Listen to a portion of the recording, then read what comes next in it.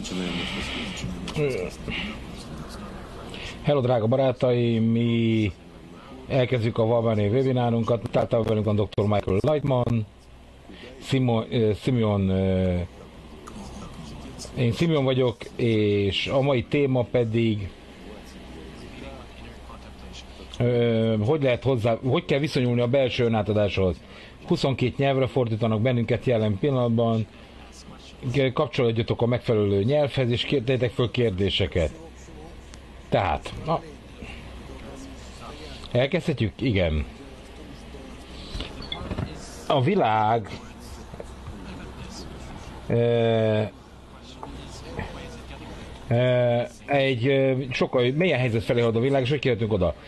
Én soha nem érzem azt, hogy a világ az le fog nyugodni, nem, a világ halad előre, mondja Rav. És mi a végső célt látjuk, amit ha elérünk, a, a, ami már létezik egyébként, tehát már el is értük azt a célt, tehát már elértük, a cél is létezik, és az egész világ erre felé halad. Tehát ilyen módon a saját viselkedésünk, és az, hogy hogyan határozzuk meg azt a pontot, ahol elérjük a célt, ez mindig egy kérdés. De a cél létezik, ez nem kérdés. A világ egy, egy különböző a, a mi világunktól, teljes mértékben elkezdődik és van vége, és mint mindennek, a kérdés az, hogy hogyan érjük el a végét, hogyan fogjuk azt érzékelni. Szimka. Oké, okay, tehát amikor az architekt, amikor az építés szépítette ezt, akkor milyen célt határozott meg? Egy olyan célt határozott meg, amely teljességben, a totalitásban már és a tökéletességben működik. És ami részvételünk, az mindent meghatároz. Szimka. Tehát ez olyan, mint egy új e, e, mint egy új almát bontanánk fel, és mi sem kóstoltuk volna. Így van, tehát nekünk meg kell érteni, hogy hogyan kell ebben az előrehaladásban dolgoznunk, és egyáltalán mit jelent a világ előrehaladása. És a cél az mindig az órunk előtt kell, hogy legyen, tehát minden egyes pillanatban valójában meg kell próbálnunk ezt a célt elérni. És mi nyilvánvalóan eh, nekünk folyamatosan folytatni kell ezt az utunkat, tehát amilyen mértékben mi képesek vagyunk látni azt, ami történik, teljes, mért, eh, teljes mértékben elérhetővé is válik, és felfogható a számunkra. A kabbala az az értelmfetti hitemelkedésében nevezi azt a pontot, ahol elkezdjük érezni, hogy mi hogyan működik, és amikor elkezdünk adakozni a megszerzés felett, akkor úgy ábrázoljuk magunkat, hogy egy teljesen természetes állapotba kerülünk. Ez a minőség, a spirites világ minősége, tehát meg kell próbálnom ezt úgy érezni, mintha már ott is lennénk. Musi. Oké, okay, tehát e, mielőtt ön raboshoz kellett volna, valószínűleg keresett, kutatott, és hosszú ideig kutatta az életnek a célját. Tehát tudta, hogy az micsoda? amikor elért Rabashoz, akkor például összehasonlítva az, amit válaszol, amit nem, nem, én ezt nem láttam világosan természetesen, miatt oda kerültem volna. Oké, na de akkor ez el volt rejtve. Tehát ez egyáltalán nem egy feltárt, nyitott dolog. A teremtés könyve az nem egy nyitott könyv, ami számunkra rav. A dolognak a lényege, hogy nagyon sok ember írt ehhez valamit, egy olyan módon, hogy úgy tűnik neked, hogy ez csak egy üres filozófia. Tehát egyszerűen egy képzelet ez, hogy hogyan akarnak oda kerülni az emberek. El kell képzelni, és Rabas Raboson túlmenően semmi nem írt, senki nem írt a, az emberi kapcsolatokról, amit a kabalában, kabal elérésében kell kialakítani a modern embernek, senki nem írt ilyen tudományos kidolgozottsággal, mint ő. Amikor elmagyarázzák a tíz fírát, a a negatív és a pozitív oldalról, és az emberi ego történetének az oldaláról, akkor egy elég világos kép ábrázolódik a számunkra, mindenek előtt egy kép, amely az egész emberi természet fejlődését átfogja.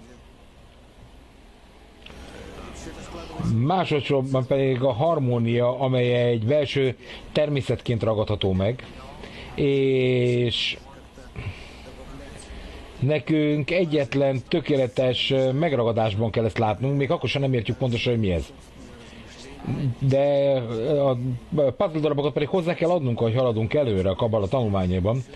És a saját hozzáadásunk, amiket mi adunk hozzá ezzel a képhez, segít elmagyarázni nekünk mindent, egyetlen teljes képet ad, alkotva a természetről. Valóban a természet így tárul föl a számunkra, az első naptól kezdve. Musi, tehát megértjük, hogy megvetőn például tanulni rabosnál. Akkor hogy kezdte el ezt megérteni? Így van, mondja Rab. Tehát én már előtte is tanultam kabalát, természetesen, és még az egyetemi tanulmányomat is hozzávettem a tanuláshoz, hiszen kibernetikát tanultam.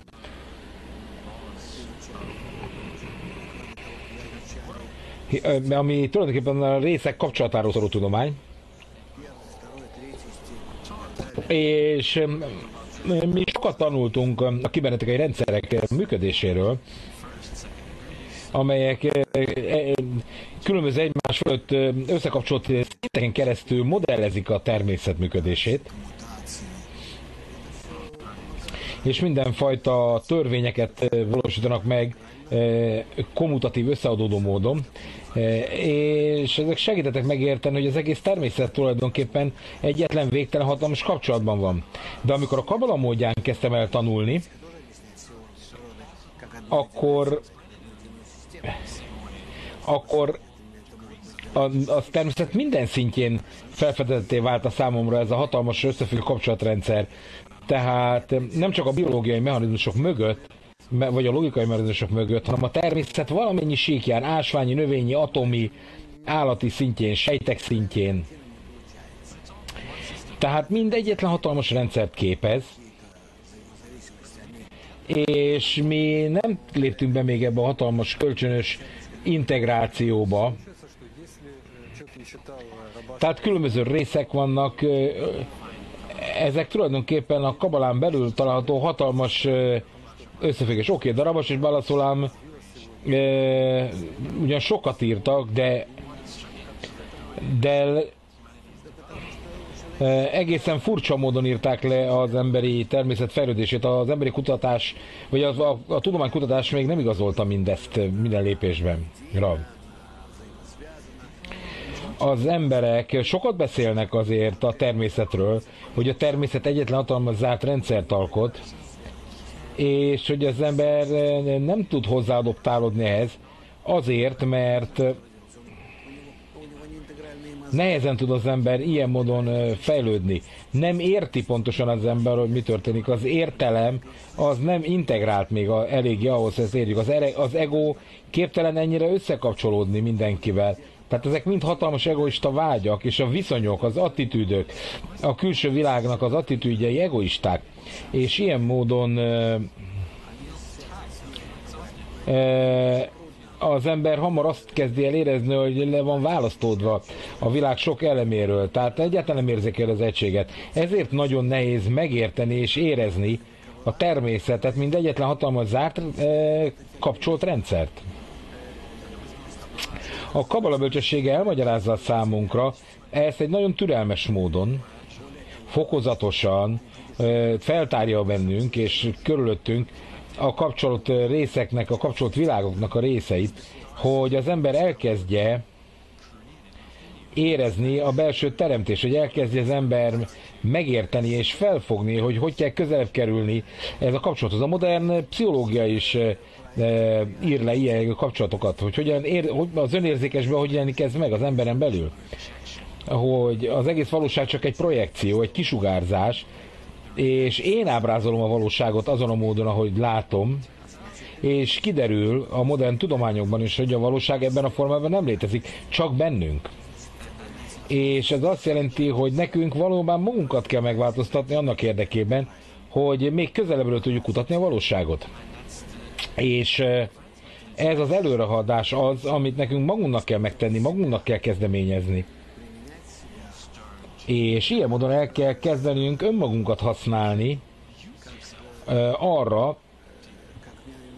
hogy, hogy mint egy gépezet, mint egy laboratóriumi gép, megváltoztassuk a minőségeket önmagukon belül, és elkezdjük látni, hogy a valóság hogyan változik, meg hogy valóban érezzük azt, hogy minden változik, hogy képesek legyünk mindezt ábrázolni, és hogy elkezdhessük a, valóságot olyan módon érzik előbb-utóbb, mint maga a valóság teremtője.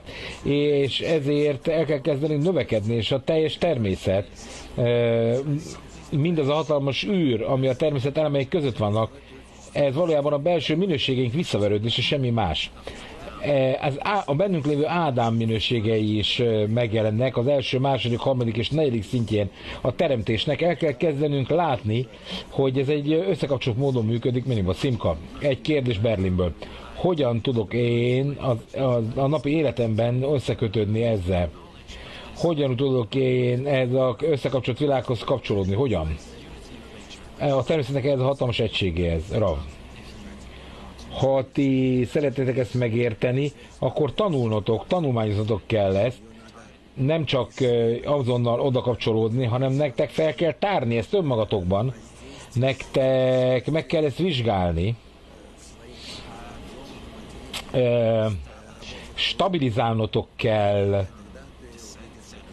az emelkedések és zónázok sorozatán keresztül, egy csoportban dolgozva, mindezt, és akkor látni fogjátok, hogy hogyan teremtitek meg a valóságot önmagatoknak. Tehát nem csak ide úrunk, oda úrunk, hanem hanem meg kell, hogy értsétek, hogy ti vagytok a projekció forrása. Belőletek vetül ki a világ, és látnotok kell, hogy ti aktívan részt vettek a világ teremtésében önmagatok számára. Ez egy nagyon komoly folyamat, Cimka. Mi, mi van elrejtve a világ mögött? Ami a, csak az integrált valóságérzékelésre érzékeltő. Az integrált valóságérzékelésben magyarab az az ember összes minőségét átfogva kell, hogy érzékelje, egy, egy minden tekintetben kapcsolt világgal, és ezért ezen a módon kell érzékelni egy helyes módon ezt, vagy legalábbis nem teljesen törött módon az ego alapján. Ez ugyanis az ego limitációját jelenti. Ez, ez a szándék az, ami a valódi valóságérzékelést adja meg a számunkra. Tehát van a természet, és vagyok én, ugye? Szimka, oké, na de akkor magamat kapcsolatba kell hoznom a természettel, rag. Így van, tehát neked el kell kezdened látni a természet összekapcsoltságát minden szempontból. Musi. Oké, valaki képes magát annyira eltörölni, hogy ne zavarja meg ezt a kapcsolatérzékelését. Ez azt jelenti magyarab, hogy neked korrigálnod kell önmagadat, és akkor látni fogod a világot minden saját hibád nélkül. Szimka. Oké, de ha én vagyok a világ, igen, de itt van egy kérdés.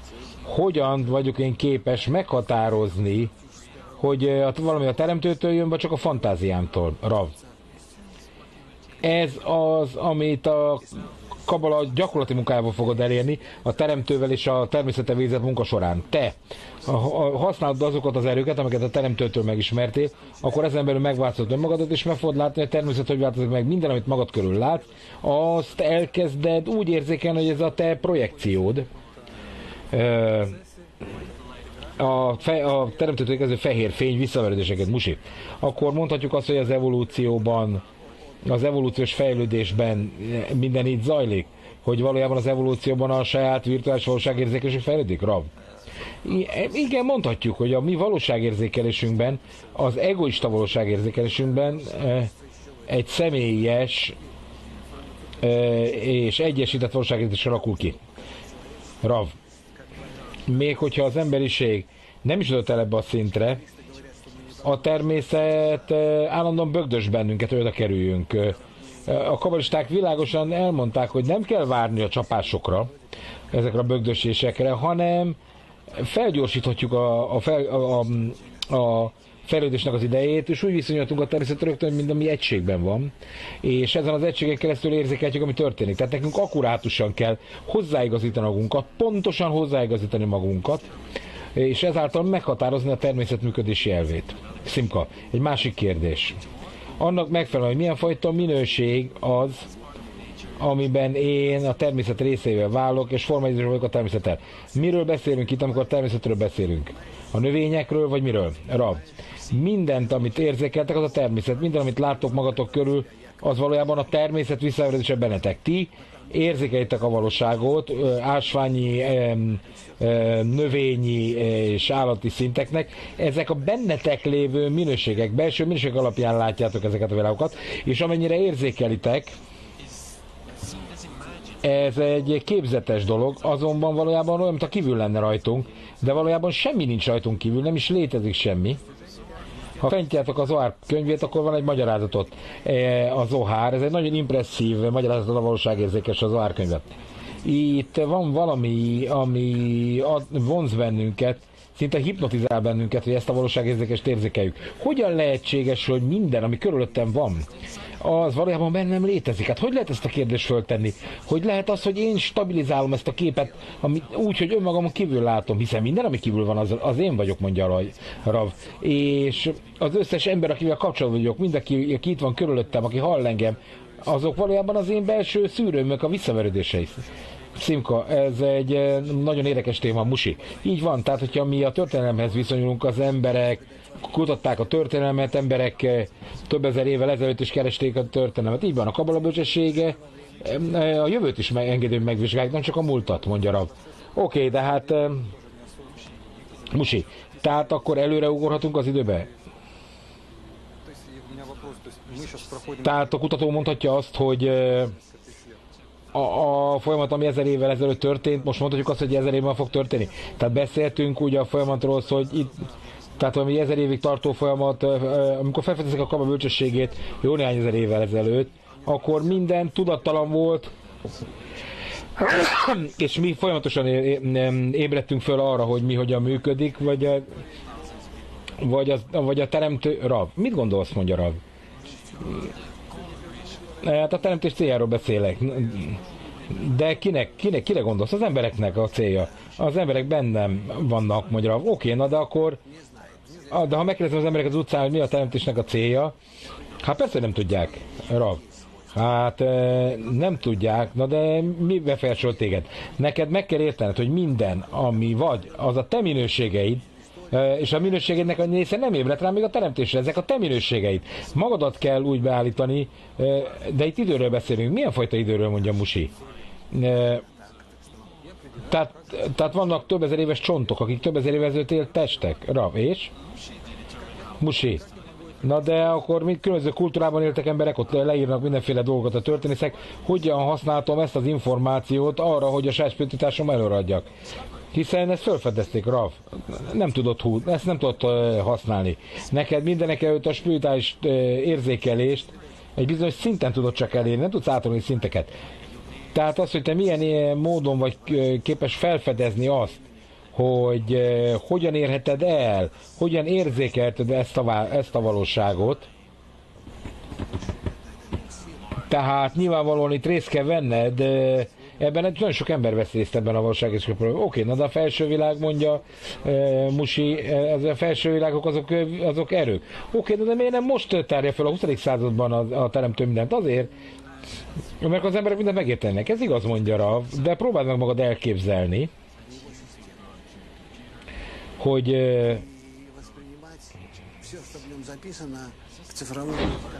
hogy belve vagy egy komputerben egy működtető rendszert érzékelsz, és mindent digitálisan tudsz érzékelni olyan a komputerbe. Még mielőtt megmutatták volna neked a képernyőn, hogy ez egy kép, vagy egy zene, e, még az illatokat is érzékelni tudod digitális értelemben. Tehát amikor te belépsz a komputer belsejébe, és megkapod ezeket az információkat közvetlenül digitális formában, ez az, amit mi úgy hívunk, hogy az igazi valóság felismerése. Amikor a teremtő rendszerét így fogod föl. Ez belül van, az operációs rendszeren belül. A te minőségeid mélységében van. Hogy nem vagy erre még képes? Mondja rá. Hogy nem vagy képes ezen a módon érzékelni ezt, ezeket az információkat?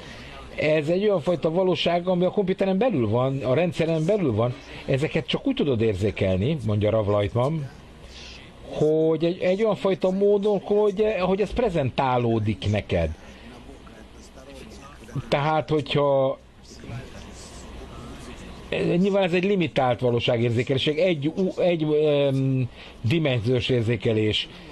Tehát próbálj meg elképzelni, hogy te belül vagy a komputeren, benne vagy a memóriájában, benne vagy minden részét eléred ennek a számítógépes rendszernek. Akkor tudnod kell a, a leíró nyelvét a számítógépnek, itt ismerned kell azokat a címeket, azokat a parancsokat, amivel eléred a rendszernek a működését. Ez a különbség a mi valóságérzékelésünk és a spirituális valóságérzékelés között.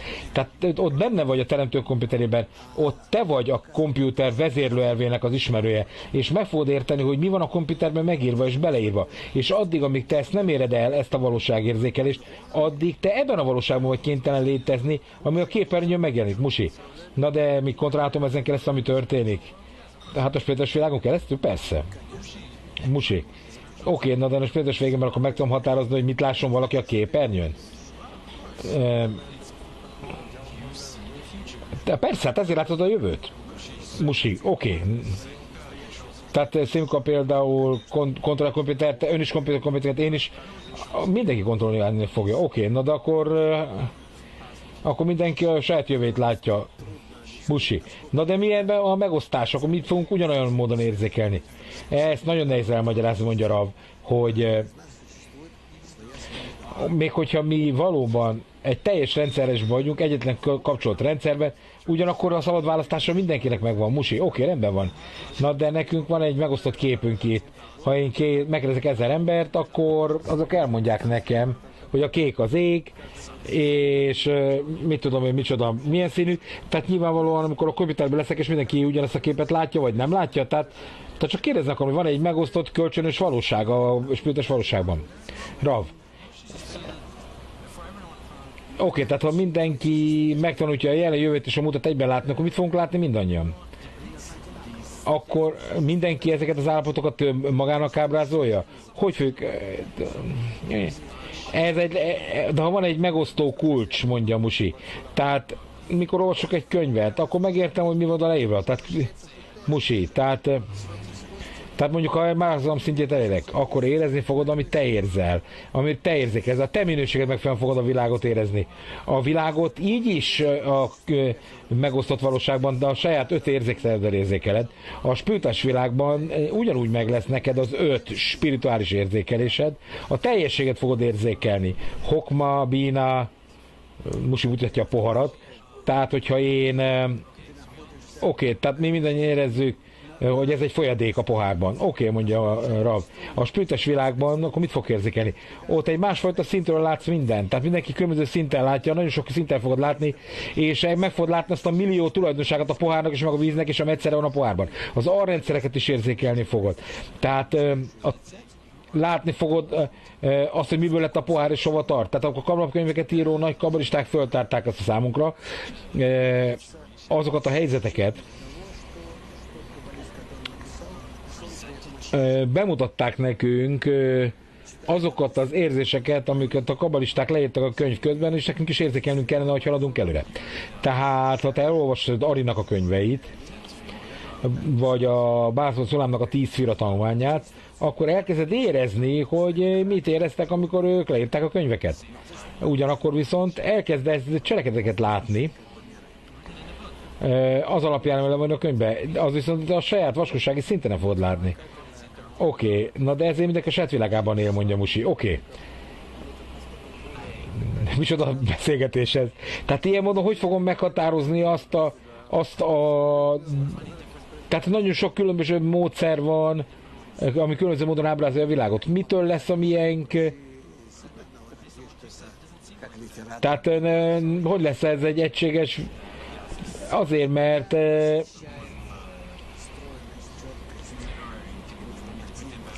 nem tudod ezt most megérteni, hogy egy spirites elérésben lévő ember hogyan ábrázolja magának a világot, és te hogyan ábrázolod magad a világot.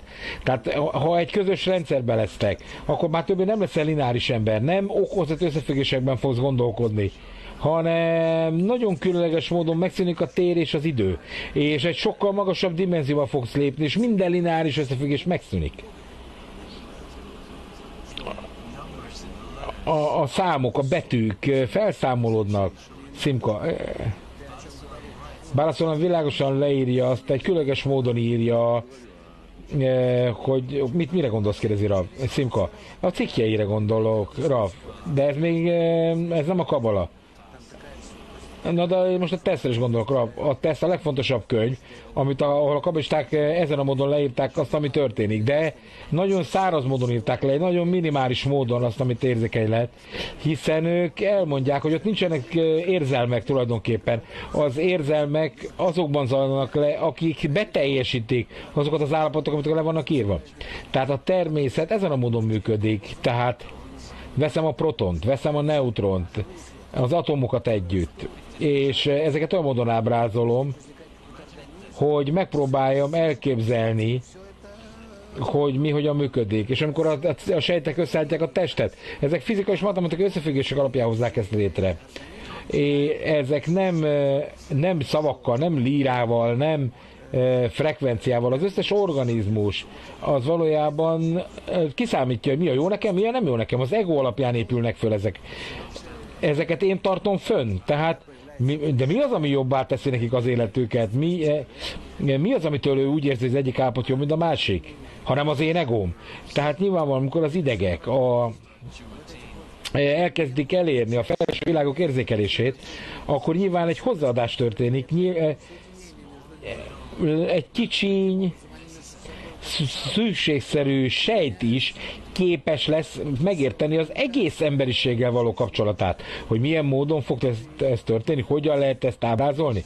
Ez egy olyan kommunikáció, amit mi nem értünk még meg. Ez egy nagyon komplikált kommunikáció a plusz és a mínusz között, a mínusz és a plusz között.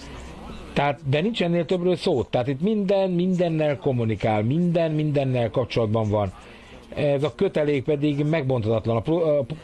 És akkor mi elkezdjük felismerni azokat a hatalmas belső érzéseket, szomorúságokat, örömöket, amelyek minden probléma felett megnyilvánulnak, és amit a kabalisták megpróbáltak egy nagyon alapvető módon említeni nekünk. A pszichológusok is próbálkoznak ezzel, de nekik nincs meg az elég tudásuk ahhoz, hogy a belső pszichológiát le tudják írni ugye ők a mentális gyógyszereket kémiai formákban adják oda. A, a, a pszichológia az értelemben még nem teljesen lezárt tudomány. Oké, de a kabbalista bölcsességében, a kabbalista bölcsességében e, ezt most elkezdjük már megérteni, hogy működik. Musi. Oké, de ez nem azt okozza, hogy mindannyian tulajdonképpen el kell, hogy érjük a teremtésnek a célját. Tehát minek kell történnie itt? Tehát itt van valami fajta belső kommunikáció? Rav. Egy örök dvekut van, egy örök teljes dvekut, örök összetapadás. Mindenkinek szüksége van arra, hogy átadja magát teljes egészében a többi embernek. Ennyi. És a teremtés többi elemének. Szeres fele barátodat, mind önmagad. Szimka. Na de ez a szeretet, hogy lesz hogy lehet ezt megragadni? Ez mindenünket összekapcsol már most, mondja Rav. De mi mindig arról beszélünk, hogy szeres fel barátod, mint önmagad. Rav. Nem, még mindig szimka beszél. Tehát mi, mit kell itt tennünk? De mielőtt a teremtést elkezdett volna egy hatalmas fénytől ki minden, nem ez a szeretet? Oké, de egy kérdés Prágából. Hogyan lehetünk mi részei az egyetlen hatalmas összekapcsolt rendszernek, és ugyanakkor hogyan különbözünk egymással, egymástól annyira, hogy mindenkinek van jelen jövő és múltja. Rav, ez az, ami, ami minden részre igaz. Tehát mi részei vagyunk, vagy részek vagyunk, amelyek mindenféle módon impulzusokat adunk egymásnak. Egyetlen részecske sincs, amely azonos volna bármelyik mással minőségében. Semmiben nem vagyunk egyformák, nincs mód erre. Tehát én valójában e, összetapadok veled, de azért tapadok össze vele, hogy megosztam veled a kölcsönös minőségemet, te pedig velem a tiédet. És ez a pont az, ami fölött áll mind a kettőnk természetének. Ez a kommunikáció, ami a köztünk lévő kapcsolatban jelenik meg, na az a teremtő. Szimka, oké, okay, na de ez az, ami összekapcsol bennünket. Rav, igen ez az, amit úgy nevezünk, hogy, hogy a teremtőt boldogát tesszük. Ez a, a kölcsönös kommunikáció, amikor mi valóban csak is a felső fényen keresztül kapcsolunk össze. Tehát ő tört össze bennünket, és ezt azért tette, hogy mi képesek legyünk újra összekapcsolódni vele. Hogy amikor mi elkezdjük megérteni az ő minőségeit és a saját minőségeinket, ezen a módon mi a teremtés teljes természetét egységre viszük egymással, és egy konkrét kapcsolatot építünk a részek között. Ez az, ahogy mi elérjük önmagunkat, és a teremtőt egymás közötti kapcsolatban. A, terem, a semmi másról nem szól a természet mindenről. Oké, okay, mondhatja, ez az értelem fejti hit. Az értelem pedig azt mondja, hogy ez lehetetlen, és nekem fölé kell emelkednünk, és így kell összekapcsolódnunk fent a természet fölött a teremtővel. Minden vágyunkban, Rav. Így van, az ő minősége csak itt állatok föl, musi. A kabala bölcsessége az az az egyének tanulják, Rav, így van. Oké, okay, na de én megmondom hogy miért annyira nehéz tulajdonképpen érzékelni ezt, mert még hogyha e, terjesztjük is ezt, e, a, a kabalát, a, a kis csoportokban tudunk csak e, dolgozni és érzékelni. Tehát az egész történelem során, amikor mi megpróbáltunk valamit eladni közösen az embereknek, azt nem érzékeltek. Itt mindenféle történetebe kell burkolni, ami felfogható. Rav. Rav. Na de az, hogy el tudjuk kezdeni az embereknek elmagyarázni azt, hogy megértsék, hogy a természet hogyan működik, mert ez szükséges ahhoz, hogy hogy legyen egy belső modell az emberek számára, ami az ásványi, növényi és állati, majd a pedig a beszélő szinten, a teremtés minden szintjén stabilizálja ezt a modellt. Anélkül nincs miről beszélni, addig az embereknek ez egy üres szöveg. Musi, oké, okay, na de na de nekünk megvannak a tízes köreink, így működnek rá, ez nagyon jó. Vannak tízes köreink, igen. Van egy keretmunká a valóság feltárására, Musi. Oké, okay, az ön első könyvében beszél arról, hogy a kabala e, hogyan változtatja meg az egyéni valóságérzékelést. Az ember önmagáltal e, csak egy egyének minősül, és a valóságérzékes csak egy meghatározott módon tudja érzékelni, és hiába magyarázzuk el, nem értjük, hogy hogyan tudjuk ezt az egyedi munkát megváltozni az összes minőségünkkel, és hogyan tudunk belépni a teljes kollekcióba, a teljes összetevadásba a teremtővel. Oké, okay, Szimka. Na de akkor éreznünk kell, hogy, hogy Musi éppen a történelmet vizsgálgatja valószínűleg most, és ezért ez befejező őt. Ez segített neked, Musi? A történelem az egy nagyon érdekes dolog, a kamra bölcsesség azonban mintha eltörténelne a történelmet, mintha nem is lenne történelem. Rav. Rav a történelem, amit az egész emberiség megér, az valójában nem az, amit ma történelemben gondolunk. Amit mi felfedezünk, az a spirituális történelem. Az idő születése bennünk, és a földiségnek a születése. Azonban te föl tud emelkedni egy spirituális űrhajón, és elrepülhetsz a jövő bármelyik pontjára, és megnézheted a történelmet visszafelé. Oké, okay, Szimka, tehát hogyan tudjuk ezt az ugrást megtenni a kamera bölcsességében, tehát mondjuk a kabala, mint eltörölne a teret, az időt, az, ami az életben történik. Hogyan tudunk akkor beszélni a tér fölé ugrásról, ha nincsen, tér, nincsen idő? Persze, hogy lehetetlen. Tehát, hogyha én képes vagyok integrálódni egy csoportba, mondjuk egy spirites edénybe, inkább ennek nevezzük, az a spirites edény, amely bizonyos szinten bele vagyok foglaltatva ebbe a spirites edénybe, az azt jelenti, hogy én lenullázom magam, belépek ebbe az edénybe, klibe, és mintha én belépnék egy űrhajóba, és egy ugrást tennénk egymással. És akkor a térben és az időben tudom ezt megtenni. Egyszerűen ugrás az időben. Ez azt jelenti, hogy egy bizonyos fajta módon én megváltoztatom a, az érzéseimet, és fölemelkedek a csoporttal annak a színnek, ahol a, a, az egyéni téridőm az feloldódik, és ilyen módon az ahap felemel a, a csoportnak az alapja. Oké, okay. tehát és akkor amit a csillagok felé indulnék, igen. Tehát Musi, ez ezek a szintek, hogyan kell ezeket elképzelni? Rav, itt valójában semmi nem történik, amikor az ugrasz. Semmi nem történik, ez Musi. Persze, a valóságérzékesebben történik minden. Tehát ma körülötted nem változik meg semmi, de most sem ott vagy, ahol gondolod. Tehát ebben ezért nem, nem történik változás. Tehát minden, a limitációt szűnnek meg, musi, oké, na de én mondhatom azt, akkor én felgyorsítom a saját spirituális emelkedés sebességemet és valóságérzékelésemet. Rav, hogyha te fel tudod gyorsítani a spiritus idődet, az azt jelenti, de ez nem a, egy fizikai űrhajó, tehát a fizikasságban minden áll Oké, na de a- azok elutazok a múltba, vagy elutazok a jövőbe akarok a splittessel? De nincs múlt meg jövő, ez a baj. Azt fogod megérteni, hogy nincsen. Oké, tehát te meg... Te nem a fizikai időt fogod megváltoztatni, mondja Rav. Ha eléred a, a fénysebességet belül, Einstein világosan kimutatta, és más fizikusok is, más tudósok is, hogy a, se, a fény közeli sebességben az idő feloldódik. Oké, na de akkor annak, hogy hogyan haladunk ezekben a limitációban van fölemelkedéssel? Rav még nem vagy képes ezt a dolgot megcsinálni.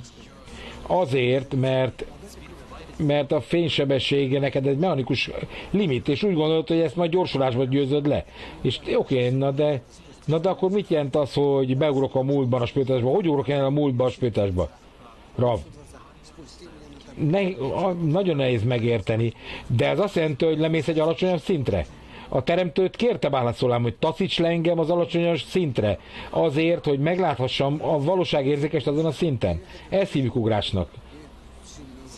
Szimka, tehát akkor, és a jövőbe menet, Rav, amikor belépsz a csoportba, és egy, a csoport erős, és képesítesz téged a csoport arra, hogy belefoglaltas magad, de olyan módon, ahogy valóban beleolvadsz a csoportba, akkor lenullázod, a, mint egy eh, magzat az anyamében lenullázott, és akkor beugrasz egy jövőbeli állapotba, és ezt nem te kontrollálod, ez minden a te szűrőttől függ, és a, és a teremtő tud neked egy szűrőt adni, ezt megadta egyébként a profétáknak, ezért látták a jövőt, Szimka. Tehát ön azt mondta, hogy nekünk mindenképpen önátadásban kell lenni, teljes önátadásban.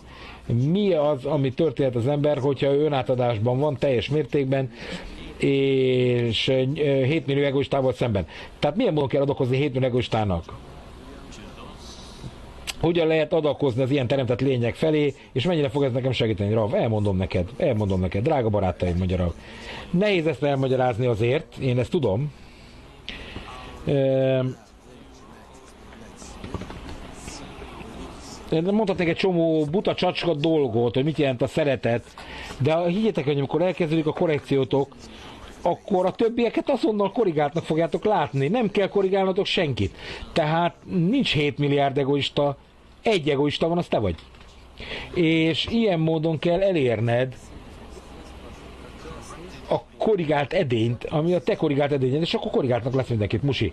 Amikor én ezt hallom, hogy én nekem kell elkezdeni másképp viszonyulni egy bizonyos módon a többiekhez, a Kabala bölcsessége azt javasolja, hogy egy bizonyos hozzáállást építsek ki a jövőhez a múlthoz és jelenhez. Valójában te nem csinálsz semmit, azt is meg kell tenni, te nem változtatnak semmit, egyetlen dolgot valósíts meg, te egy csoportot, ezt teszed. És a csoportban átadod magad. Hagyod, hogy a kabala elmagyarázza neked, körüleljen téged, és megragadjon téged, és ez lesz a te űrhajód, a csoportod lesz az űrhajód, és ilyen módon képessé válsz arra, hogy ezeket a változásokat az időben meg tud ragadni, és túlemeljen az időn. Oké, mondja Szimka, de akkor ez borzasztó érdekel engem, akkor mi történik, Rav? Oké, tehát akkor Szimka, én nem tudom, hogy ezt hogy képzeljem el, na de nem olyan, mint elveszteném a csoportban a szabadságomat? Dehogy is, mondja. Te azt kérdezed tőlem, hogy mit kell tenni, meg elmondom, mit kell tenni. Oldódj föl ebbe. Most így megpróbáljuk, Rav. Próbáljátok meg. Nincs mit tenni ezzel. Eh, Tehát nincs hova szaladnotok, azt hiszem, hogy el tudtok menekülni. A világ halad előre egy olyan kérlelhetetlen pont felé, a, a, innentől kezdve valóban azt kell, hogy érezzétek, hogy az élet halálkérdés a számotokra, hogy ezt meg tudjátok tenni. Tehát még nem érzitek önmagatokban, hogy mit jelent a világ változása, de eljutunk egy ponthoz, közelítünk egy ponthoz, ahol az ego fejlődése befejeződik, és elkezdjük egymást felzabálni, nem történik valami. Hamarosan eljutunk az a ponthoz, ahol már nem lehet tovább fejlődni. A következő pont az, az fölötte kell legyen az egónak, vagy minden lerombolódik. Musi. A kérdése Moszkvából. A teremtő egy erő, egy minőség. Hogyan ábrázoljam akkor helyesen a teremtőt? Rav.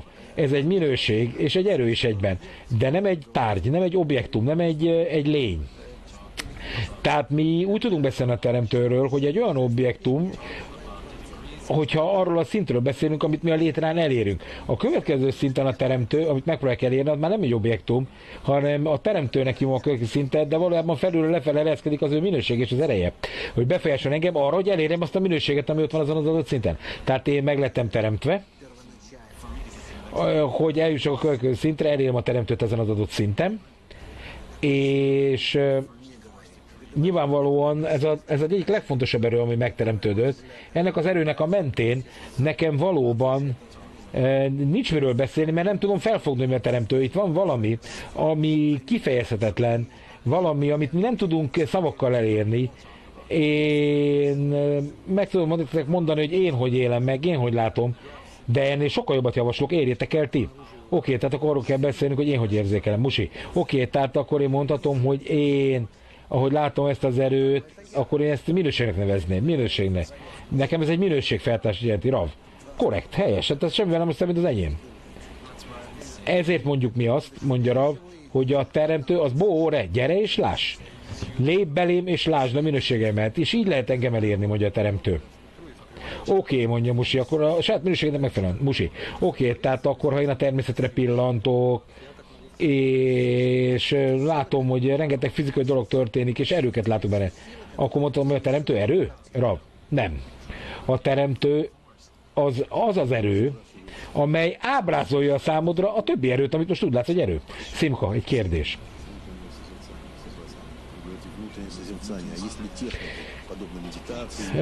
Van egy technika, a módszer, amikor mi a belső vízióról beszélünk, van valamilyen mód, hogy meditációval látosak az előtt? Nem. Itt a szűrőt kell kiépíteni. Ha szűrőt építesz, akkor a szűrődnek megfelelően a kabala elmagyarázza, hogy mit fogsz érzékelni. A visszavert fényben látod meg a teremtőt. A visszafért fény ráöltözik az egyenes fényre, és ebben a minőségben látod meg a teremtőt. Tehát minden a spirites parcuftól függ, mert erről beszélünk, ez fogja ábrázolni a teremtőt. Semmi más nem fogja ábrázolni a teremtőt.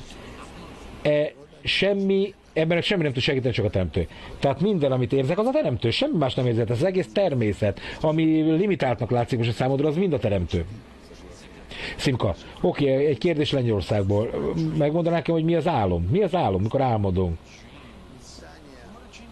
A, mi az álom a kabalában? Ez valami, ami... Tehát amikor álmodunk valamiről, a jelenben, a jövőben, a múltban, ezek mind az orr makifhoz, a körülőfényhez kapcsolódnak. Eznek a, van egy valósága, amit az orr primivel való kapcsolatában érzékelünk, soha nem mondta ezt még, ezt én életemben most először. Tehát valójában ez az a valóság, ami a szűrőn keresztül átszivárog, és ez akkor az orr és az orr hozzá kapcsolata viszont akkor az a fény, a, a, az orr makifnak a fény, ami kívül marad, ez mindenféle képeket tartalmaz, körülelő képeket. Mi a különbség? A körülelő edényekben létezik ez, és ez nekünk a múltról, a jövőről képeket tartalmaz, és ezek a belső fény valamilyen módon tükröződik. Majd erről még tanulunk. Kész. Tehát, Rav, nem értettem a kérdést amikor valaki nézi az ön programját, akkor lehet a spiritás tanuló, ha valaki csak a Youtube-on nézi az ön videóját? Nem. Egy tanuló az, aki aki azon a módon tanul, hogy én ezt elmondom. Csatlakozik egy csoporthoz, egy aktív edényhez, és megpróbál csoportban együttműködni a többiekkel, és ezen belül megpróbálja kitölteni a kabala bölcsességének a feltételeit. Tehát egy labor kell arra, hogy te tanítványá válj. Arra van szükséged, hogy egy gyakorlati helyet találja a munkának. Különben nem vagy tanítvány, te csak egy vizsgálódó ember vagy. Oké, okay, Szimka, de ez valóban egy óriási bölcsesség, amiről beszélünk. Rav. Hát ezen a módon lehet egy reményt elérni, de nem lehet érni a spites világot? Szimko, egy kérdés. Hogyha mennyire befolyásol engem ez a lecke most? Hogy kell ezzel dolgoznom, Rav? A te munkád az, hogy figyelsz, figyelsz, mondja valamelyik tanítványnak. Figyeled, hogy mennyire tudsz együttműködni majd a tízeseddel, és részt veszel azzal a tízessel, akit most megadott neked. A teremtő mindig ad egy tízeskört. Lehet, hogy egy virtuális csoportot ad, de hidd el, hogy ad embereket, akik összekapcsol, hogy megadja az embereket, akik kapcsolod. Szimkap, Musi. Kérdés. Ön, az ön könyveiben, nem, akkor megint Szimkap kérdez, bocsánat Eh, hogy van a teremtőnek egy bizonyos fajta feltárulása a bajokon keresztül, a nehézségen keresztül. Milyen fajta módon eh, érhet el az ember valamit a nehézségen keresztül? Tehát, hogy nagy bűn, hogyha az ember ezeket elutasítja Rav. Rav. Természetesen, az új emberek kérdezik nyilván, erőfeszítéseket kell tenni, én ezért írtam könyveket, hogy az ember elolvas egy ilyen könyvet, és lehet, hogy utána kerül csoportba. De itt nem a könyvről szól a történet. Nem a könyvről szól a történet. Ha a, hanem egy módról, ahol a könyv elveszed valahova, ahol fokozatosan eljutsz a tanárhoz, és a tanáron keresztül a csoporthoz. A teremtő a könyvön keresztül húz betéget, Cimka. Oké. Okay. Na de a könyvben ön azt írja, hogy a teremtő a bűnön keresztül is fel tud tárulni, Rav. Rav. A teremtő bármiban fel tud tárulni, de csak egy bizonyos szinten, és az embernek a fejlődésének egy bizonyos szintjén lehet ezt megérteni, hogy hogy működik. Ezért a teremtő feltárolásáról szól a kabala, hát semmi másra nem szól. Tehát e,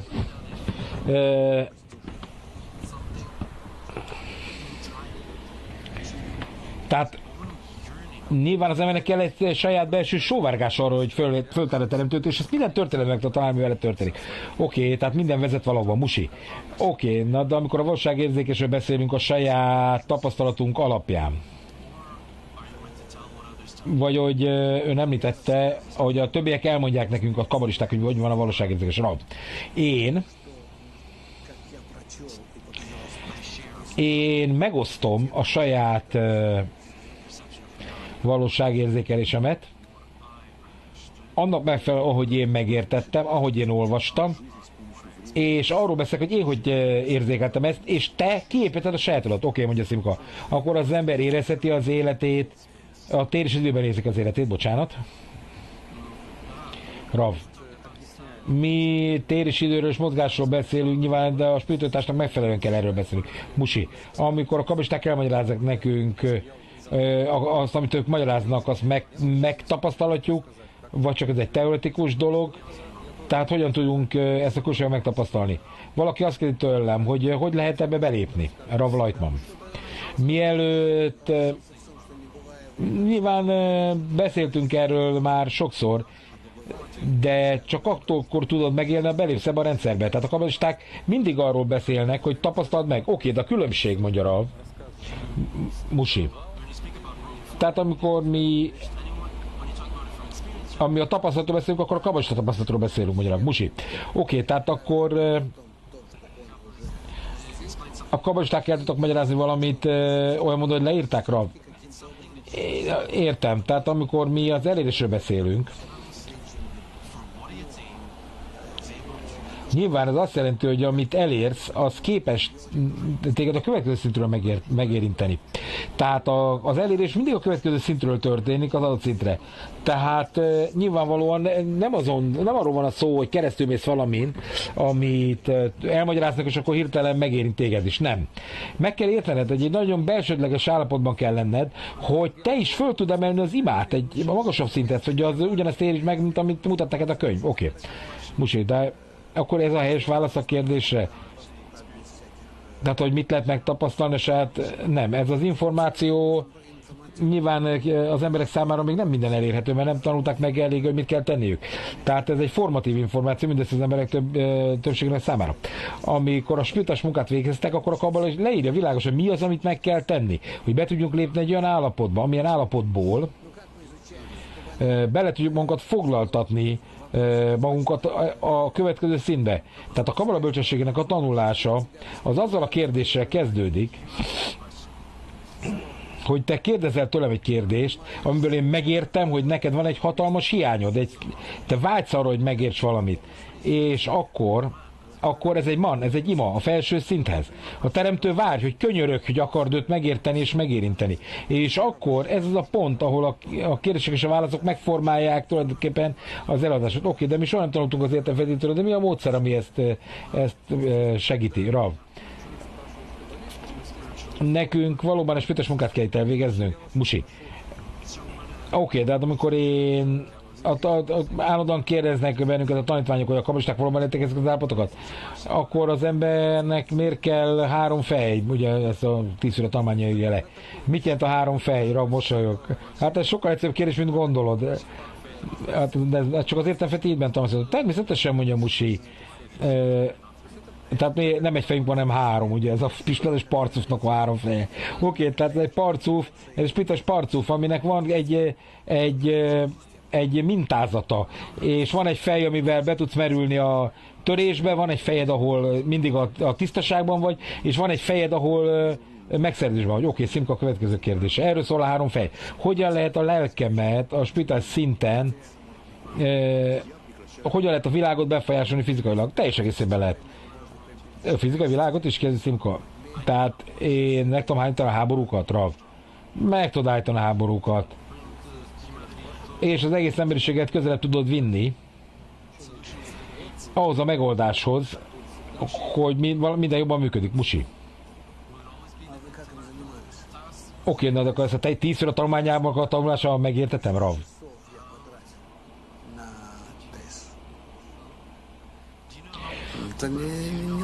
De tudod, hogy hogy kell tanulni? Tudod, hogy én, én mennyi időt töltöttem a tanulmányának a tanulásával? Ez nem egyszerű.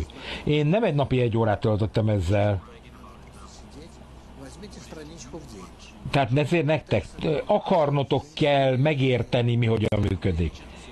Vegyetek egy oldalt egy nap. Egy oldalt egy nap. A tíz tanulmánya az nem egy könyv, aminek jó sok oldala van, és akkor elolvasom a Robin Hoodot. Tehát van 200 oldal? Mit jelent a 200 oldal a 10 a tanulmányába? 5-6 évet? 5-6 évet. Egy nap egy, egy oldal, és akkor mindent megértesz. És fokozatosan az egód megadja magát. Megadja magát, mert egy új program indul be, Simka. Ez nagyon érdekes, amit ön mond. Tehát ön ezt most nem értettem sajnos. Hát milyen módon kell nekem tanulni? Hát nyilván megnézed, mi hogy tanuljuk a tízféle tanulmányát. Természetesen nekünk mi nem úgy tanuljuk a teszt, ahogy én tanultam. Csoportban próbáljuk tanulni. Oké, okay, na de a csoportban lehet elérés? Akkor olyan, amiről beszél, hogy tanuljuk a teszt, az ember megtanult ezen a módon, de csak akkor, hogyha az ember sovárog erre. Tehát én ezt favorizáltam, tehát én azt mondanám, hogy tanuld a csoportban, amit tanulni, és otthon olvas el egy oldalt minden nap. Oké, okay, tehát akkor a komputernek van egy nyelvezete, van egy programja, ugye Musi most visszatért a kezdeti e, dologra, és a valóságban a teremtőnek milyen programja van? Milyen algoritmussal tervezte meg a teremtő a teremtést, Rav? Ez igaz, amit mondasz. A teremtő az egy algoritmusnak mentén programozott le mindent, különböző részekre szakította szét az érzékelést, és öt szintre osztott minden vágyat, és ezeken belül újra öt felosztást csinált, és mindegyiket egy rendkívül bonyolult kapcsolatrendszerbe foglalta, és ezek mindegyik a saját szintjének megfelelően érzékeli magát töröttnek. És minden egyes rész az több százezer részre esett szét, és, és érzékeli a törést, és aztán újra és újra széttört mindegyik darab ugyanígy. Ezért a törés oldaláról ez egy lehetetlen feladat. Minden egyes rész azonban apránként újra összekapcsolódhat, és egy valódi képet ábrázolt magának. De csak együtt. Ez azon a módon működik, hogy az egészet egybe akarok látni. Ez a munkádnak a lényege, mondja Rav a kapcsolat, a mindenek felett elsőprő kapcsolat. A kapcsolat pedig egy bizonyos program mentén történik, ahogy ezt mi tanuljuk. Tehát nekünk a programnak megfelelően kell érzékelnünk mindent, és nem kell, hogy a program mentén megvárjuk a program teljes lefutását, fel tudjuk gyorsítani ezt Tehát ezen a módon mi öntanulóvá tehetjük a programot, és minden állapotban boldog lehetünk. A boldogság el van rejtve az előadásban. Musi, na de milyen nyelvezettel van ez írva? Rav. A teremtő a szeretet nyelvén írt meg mindent. A kodes nyelvén, a szentség nyelvén írt meg mindent. Tehát ez, a, ez az ő nyelve. Oké, de megértjük a teremtő, hogy beszél az ember, ez megértetjük milyen nyelven? A középső vonal nyelvén beszél a teremtő hozzád. Amikor te valóban a helyes módon irányulsz a jobb vonalon keresztül a teljes teremtéshez, akkor a teremtő, mint nyelv, olyan minőségben nyilvánul meg, hogy altruista módon tudod megérteni őt, tehát nem egoista módon, és a megszerzés helyett adokodásba fordít téged, és oké, okay, musi. Na de az ember elkezdi megérteni a dolgokat, amik a világban érzék, történnek. Hát nézzétek, hogy mi történik a világban. Meg hogy mi hogyan történik. Na de mi az oka annak, hogy ez így történik? Musi. Na de mindezek a dolgok, amik történnek, ugye a globális felmelegedés, az összes válság, ami történik, Rav, ezek mind a teremtő nyelvei. A szeretet hozza rád ezeket a bajokat. Oké, na de hogy lehet ezt feldolgozni? Hát azon a szinten, amin történik. Hogyan lehetséges ezt helyesen érzékelni? Hiszen ez a világ minden frekvencia, minden rezeg, és mégse értjük. Oké, na az ember, mikor megkérdezi, hogy mi történik és miért történik, megérteti ezt, ami történik? Rav. Nem így működik ez, nem így kell ezt keresni. Ne, így nem fogod megérteni. Tehát neked más kell tenned, neked olyan cselekedetet kell végre, amit őt csinál. És ehhez föl kell emelkedni önmagad felé. Nem azért kell megérteni, hogy mi történik, hogy életben maradj. Oké, de hogy vagyok ezt képes megtenni? Az ember meg tudja ezt tenni? Rav. Tehát mit gondolsz, miért nem tárult még fel ö, a relativitás mondjuk olyan módon csak, mit tudom én, száz éve tárult fel, ahogy? Azért, mert nem voltunk az elég fejletek. Így van. Tehát nekünk a fizikával el kell jutni egy ponthoz, hogy föltáruljon a relativitás. Ugyanezt történik a spiritualitásban. Amíg nem értjük, hogy mi történik, miért tárulna fel? Miért tárulna fel? Semmi nem fog feltárulni. Majd egy nap megtörténik, és feltárul. Amikor lesznek már valakik, akik megértik ezt az üzenetet, ott az üzenet. És ma egy olyan állapotban érünk, mondja Rav Lajtman, hogy az ember e, csak az utolsó 200 évben tudott ebbe az állapot jutni. Oké, a kabalisták megértették, ami történt velük, Rav. Ez sok mindentől függött, attól a szintről, amit ők elértek. Musi, oké, na de leírhattak valamit, amit nem értettek? Hát egy kisgyerek, aki összehasonlítasz egy nagyon okos emberrel. Mind a kettő érzékel a valóságot, Musi. Oké, de a már tikun, a korrekció vége, ott minden megértünk, ami valami történik velünk. Na de ha ott érsz el mindent, akkor nagy bajban vagy, mondja, mondja, mondja Oké, okay. na de az a teremtő, hogy a beszél hozzánk a teremtő. E, a teremtő ilyen módon kifejlesz bennünket egy képességet az örömre, vagy mi történik itt? Vagy ez egy ilyen végtelen agónia, Rab? Az agónián keresztül jutott el téged a végtelen örömben, mondja Rab. Mert, mert haldok, mert mit jelent az agónia? az, hogy én agóniában vagyok, mert nem haladok előre, ez azt jelenti, hogy valamiben megakadtam. Na de miben vagyok agóniában? Az, hogy én akarom, akarom, akarom, de magadnak akarom, és ezért szenvedek.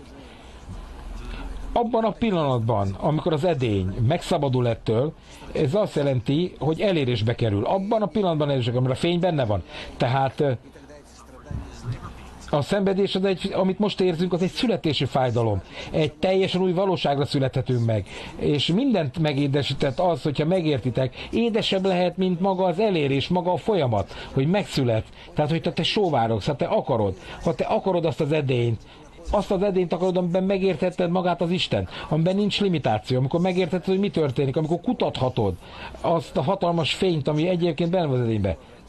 És amikor eléred, akkor rá fogsz jönni hogy a limitáció szükséges volt, mert különben nem érted volna el. És ezen a módon jutunk el a korrekció végézek a Martikumhoz. Ez az, ahol nem vagyunk behatárolva egyáltalán. A kabalisták ezt világosan leírják. Tehát ez így működik. Rav. Tehát itt minden attól függ, hogy mit nevezünk agóniának Ha az elérésére agonizálunk, akkor ez a legszentebb halál, halál fájdalom. Vagy csak szenvedsz azért, mert nem kapsz meg valami címka. Oké, okay, most látjuk Szocsit, hatalmas mennyiség ember gyűlt össze. Itt vannak, a Fekete partján. Boris leckéket adott nekik, ugye Boris is ott van, valahol basajok, olyan azért nincs itt a szobában. Bulgáriát látjuk, Nikolaev, és nagyon sok más helyen vannak emberek, Santiago, Chiléből, nagyon sok kapcsolat van velünk. Tallinn, Musi. Hát, hogyan fejlesztjük ezt a programot? Hát, ha nektek van inputotok, ha megírjátok nekünk, hogy ti szeretitek ezt a programot, mennyire szeretitek, hogy szeretnék, hogyha folytatnánk, mit akartok tőlünk hallani, akkor ezt folytatni fogjuk. Ha van vágyatok, akkor erőfeszítést fogunk tenni, hogy ezt megtegyük nektek. Lehet, hogy másfajta, másfajta embert akartok helyette mit ülni látni. Magyarul mondjam valamit akkor nekünk a jövő hétre. Rav. Legyetek gyerekek, és jó gyerekek. Kezdjetek el komolyan venni a tanulást. E, és vegyétek magatokra, amit én mondok, a regély leckén, és a, és a ti, nektek jelölt tízes körötökben kezdjétek el látni, hogy ez visz benneteket előre. Lehet, hogy nem tiszta és nem világos, de higgyétek el, előre visz benneteket, Szimka. Lehet egy virtuális tízes is, persze. Még a virtuális tízes kör, bármilyen tízes kör, tíz ember, és elköszönök barátaim, Minsztől is, Santiago-tól, mindenki törelek, az összes barátot, az összes csoportot. Viszontlátásra. És csak mondom, mindjárt közvetíték, mindjárt átkapcsolok egy másik stúdióba, és Afrikával közvetik a beszélgetés. Úgyhogy mindenki maradjon online-ba.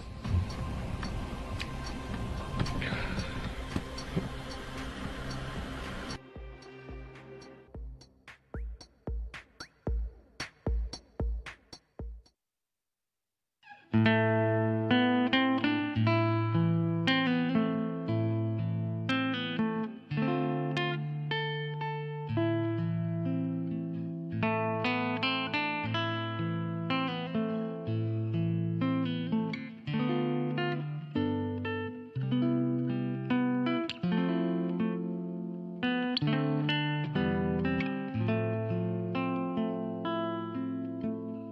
Igen, már írják egyébként, hogy Jehudit üzente mindenkinek a Zoomon is, hogy maradjunk együtt, és nézzük együtt. Ugye én is fel az Európai Zoomon, ott látom. Tehát mindjárt kapcsolják újra a stúdiót.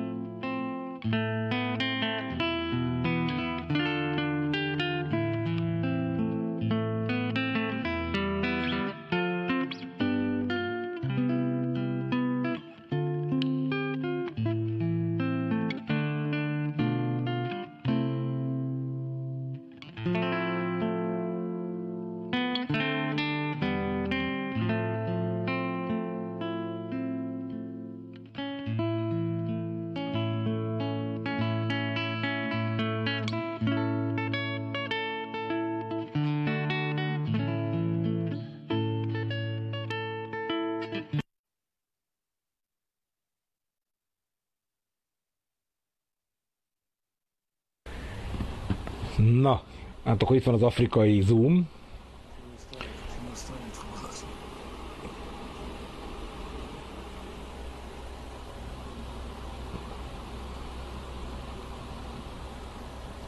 Ezenben magamban mindig egy kicsit mosolygok egyébként, mert azért jellemző, hogy Afrikában mennyi fehér van. Igen, tehát akkor kezdődik a beszélgetés az afrikai csoporttal, nyilván fölkészültek erre, gondolom Terence fog most mindjárt megjelenni itt.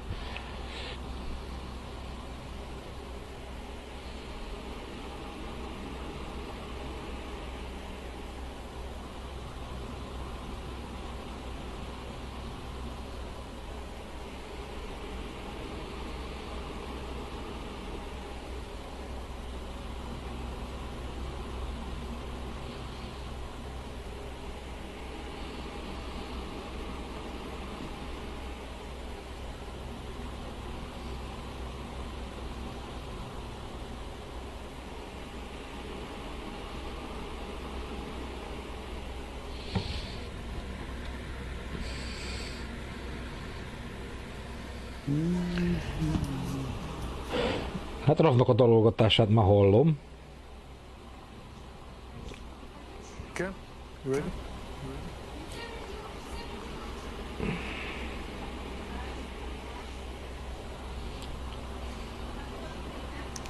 Szerintem Simon fog még bekapcsolódni.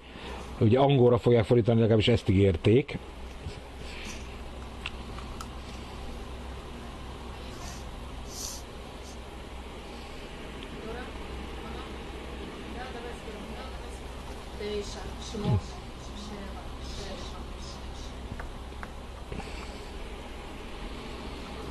Na, itt vannak az urak. Hello Raf, hello világcsoport, hello mindenkinek.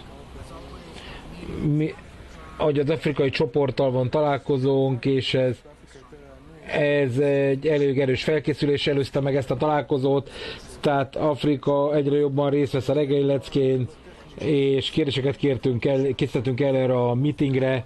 Itt volt egy csomó technikai problémánk, mert mi szerettünk volna egész Afrikában egy egyesített képet közvetíteni, azonban nyilvánvalóan akik velünk vannak, azok mégis fognak kérdéseket föltenni, de tudni kell, hogy nagyon komoly technikai problémák vannak az afrikai internetes saromra.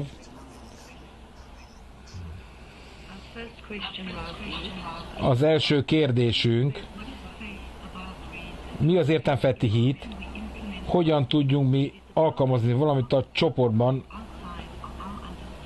amely kívüláll a megértésünkön és a, ennek a világnak a tudatosságán. Ez az, amit az előző néhány hétben tanultunk egyébként a reggeli leckéken. A dolognak a lényege, hogy felemelkedjünk egy speciális szintre, ezt az ember csak akkor tudja megváltozt, megtenni, hogyha megváltoztatja a pillanatnyi egoista vágyát, és egy altruista irányultságot dolgoz ki a, az egoista vágyai felett. És akkor, ami ebből következik, vagy ami ezt követi, az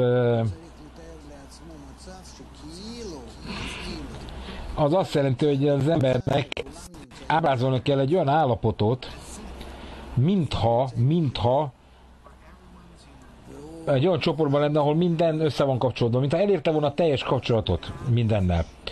És akkor ő velük akar lenni, össze akar velük kapcsolódni, szívvel és lélekkel, valóban szívvel és lélekkel, egyetlen testé, és ha megkísérli önmagát ebbe az állapotba vinni, amelyet úgy hívunk, hogy az adakozás és a szeretetnek a minősége, ha megpróbálja önmagát ebbe a fajta állapotba juttatni, akkor ami ebből következik,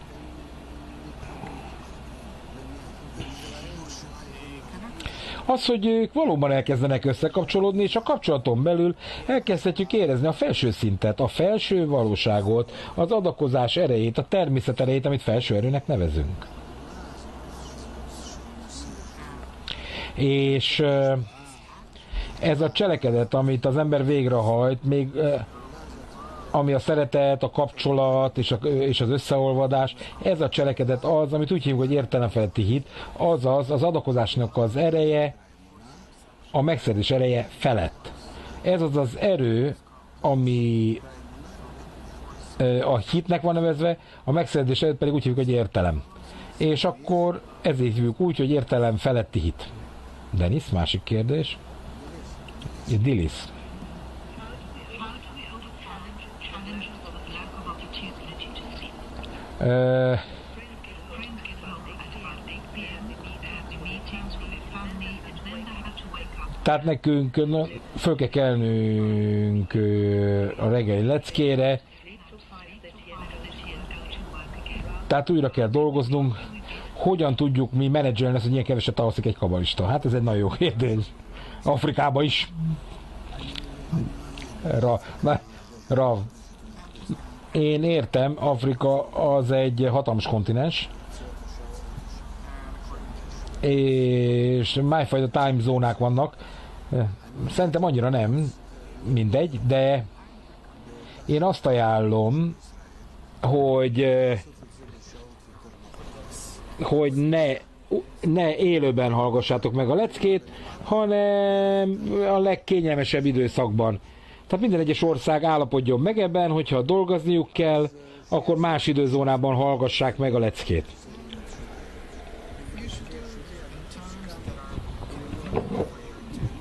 Tehát, tehát akkor mondjuk az én tízes köröm el- elhatározta, hogy a reggeli leckét 9-től 11-ig nézi meg este, következő éjjel. Ez három óra, ez tény, de ezek az órák kényelmesebbek lehetnek, és ha, el, és ha 11 órakor elmegyek aludni, semmi nem történik. Ez nem e- ez, tehát a lecke valójában nem is három, hanem csak két és fél óra. És ha így kezdjük el ezt lekövetni, akkor 11 órakor már az ágyban vagyunk, ami szerintem remek. De hogyha mi az éjszaka közepén gyűlünk össze, elmegyünk a leckére, visszatérünk, és akkor újra bemegyünk az ágyba a lecke után, akkor nagyon nehéz ezt megtartani, és aztán pedig újra visszaaludni, tehát ez, ezt én nem ajánlanám, mert ez a módon szétesnek. Gyakran, mondjam Simon, a csoportnak egy része nem tudja elfogadni ezt azért, mert egy-kettő ember össze tud kapcsolódni akkor, amikor, de jobb, hogyha együtt lennének. Inkább választanak egy más órát, más időzónát, de együtt legyenek, ez a lényeg. Rav. Ez nem probléma, hogyha megnéztek a felvett leckéket, de lehetőleg mindig ugyanazon a napon, mert különben elkezdtek kihagyni őket. De Liszúira a kis hölgyet hívják. Köszönjük, Rav.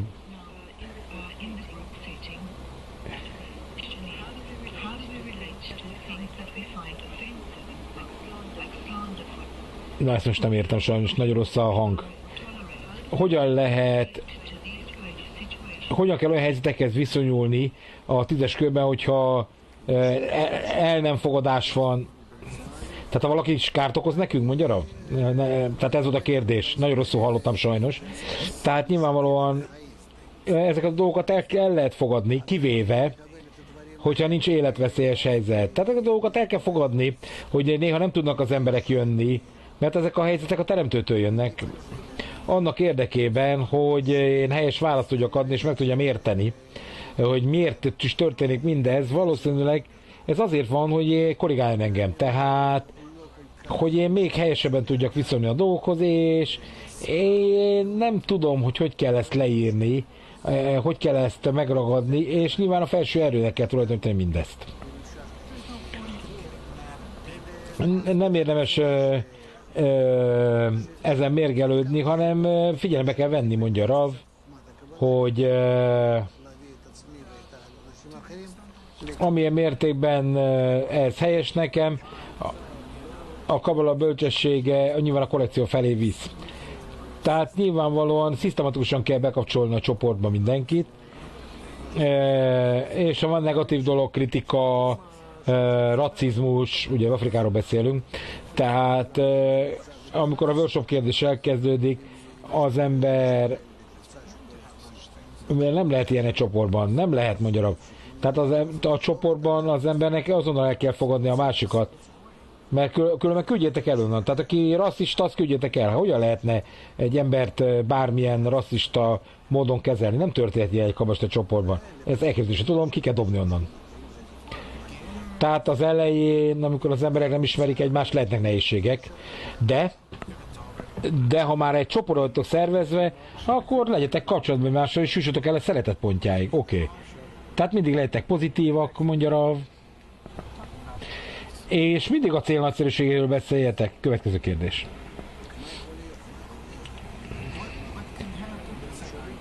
Nem értem, hogy hogy történt ilyen. Tehát azért kérdezik ezt, mert van negatív tapasztalatuk. Voltak barátok, akik, akik ahelyett, hogy követték volna a workshopnak a szabályait, mindig kritikálták a többieket.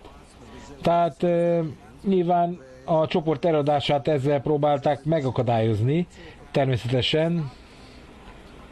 Tehát ezeket el kell engedni a csoportból, az kész.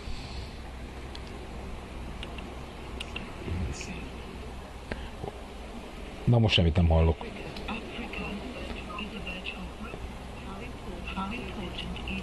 Mennyire fontos a keretmunka, hogy mindannyian a keretmunkát elvégezzük a tízes körben. Mi, hogy kell kinézni ennek a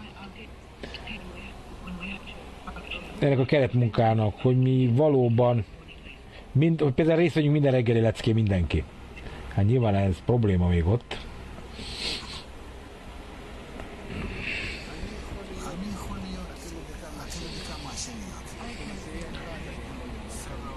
E, különböző tízes körökben lehetünk. Tehát az egyik az ebben a körben tanul, egy másik abban a körben tanul. Tehát több nyelvet ismerünk. Ugye beszélünk Port- Afrikában portugálul, meg mindenféle módon. Tehát nekünk különböző csoportokban kell együtt lennünk, lényegtelen. A legfontosabb dolog, hogy bárhol is vagyok, ahol a, meg, nézem a többek együtt a leckét, vagy nézzünk felvett leckéket, amiről már beszéltünk. Ez lényegtelen. A legfontosabb dolog, hogy én emberekkel legyek együtt, akik el akarják, el akarják érni a célt. Tehát ami, ahogy itt tanulunk, itt valójában nem a tízes körrel tanulunk, hanem minden egyes alkalommal. Tulajdonképpen változnak a tízes körök itt Izraelben. E, Az, hogy kivel ülök együtt, az lényegtelen. Te lehet, hogy minden nap megváltoztam azt, hogy tízes kört, akivel együtt ülök. Afrika, e, ugye ott angolul beszélők, és vannak Dél-Afrika, Gána, vannak franciául beszélők, Kamerun, stb. Tehát Terence például egy veterán barátunk, de vannak újak is, akik francia beszélnek. Tehát itt most veterán francia beszélőkről beszélünk, és nyilván itt vannak, van egy francia csoportunk, és van egy angolul beszélő csoportunk Afrikában. Lehet ezeket egyetlen afrikai csoportá egyesíteni, tehát megvan a lehetőségünk, hogy fordítsunk nekik. Én értem, nyilvánvalóan, hogy preferábilis vagy nem. Egy nagy, egy nagy csoport sem jó, nem olyan két nyelvi grup van, nem tudom, mondja nem, nem tudom. Ezek annyira különleges dolgok, amit nektek kell majd eldönteni, hogy hogy előnyösebb tanulni. Oké, mondja Simon. Most Rav, ehhez a ponthoz még annyit kell tudni, hogy ö, építsünk ki valamilyen fizikai találkozót, tükörkongresszust. Tehát ez a kérdés azt jelenti, hogy a barátaink, akik Afrikában vannak,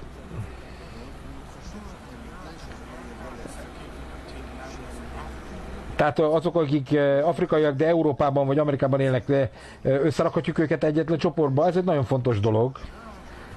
De akkor nem azt kell mondani, hogy én Amerikában vagyok, én meg Európában vagyok, hanem valóban eh, legyenek mindenki olyan, mint bárki más, aki éppen most között Afrikából. A legfontosabb a, a csoportban a belső minőség, amit nem szabad elveszíteni ilyen módon. one can لا مع ميكروفون اوكي نحن كفين توك كلوزر لا صرت كنس سنة أبا Tehát nekünk a következő évben lesz egy eh, Gánában egy, eh, eh, egy kongresszusunk. Én nem tudom, mennyi ember lesz képes Gánába elmenni. Reméljük, hogy néhány ezer ember is lehet ott akár. Tehát Gánában lesz az Afrika kongresszus, már tudjuk. Nagyon sok munkát akarunk addig végezni természetesen, hogy mindenki megértse és megtanulja, mit kell ott végezni. És remélem, hogy az értelmfelti hitbe tudva tudunk emelkedni, és nagyon sok embert tudunk bekapcsolni. Tehát eh, nézzük meg, beszéljünk ugye ott egy kicsit a kabala bölcsességéről, a jelölő múltra jövőről. Tehát eh, olyan dolgokról, amik mindenki szintjén értetővé válnak. Ugye egy ilyen kongresszuson még ezen kell beszélnünk, ez egy belépő kongresszus. És amit én elvárok, én azt várom el, hogy egy helyé válik ez, ahol összekapcsolódunk, és egy gyújtóponttá válik ez. Én boldog leszek, ha oda mehetek, mondja Rav. Ez nem a világ vége, ez közel van ám hozzánk, sokkal közelebb, mint gondoljuk. Ez legalább közel van, mint Európa.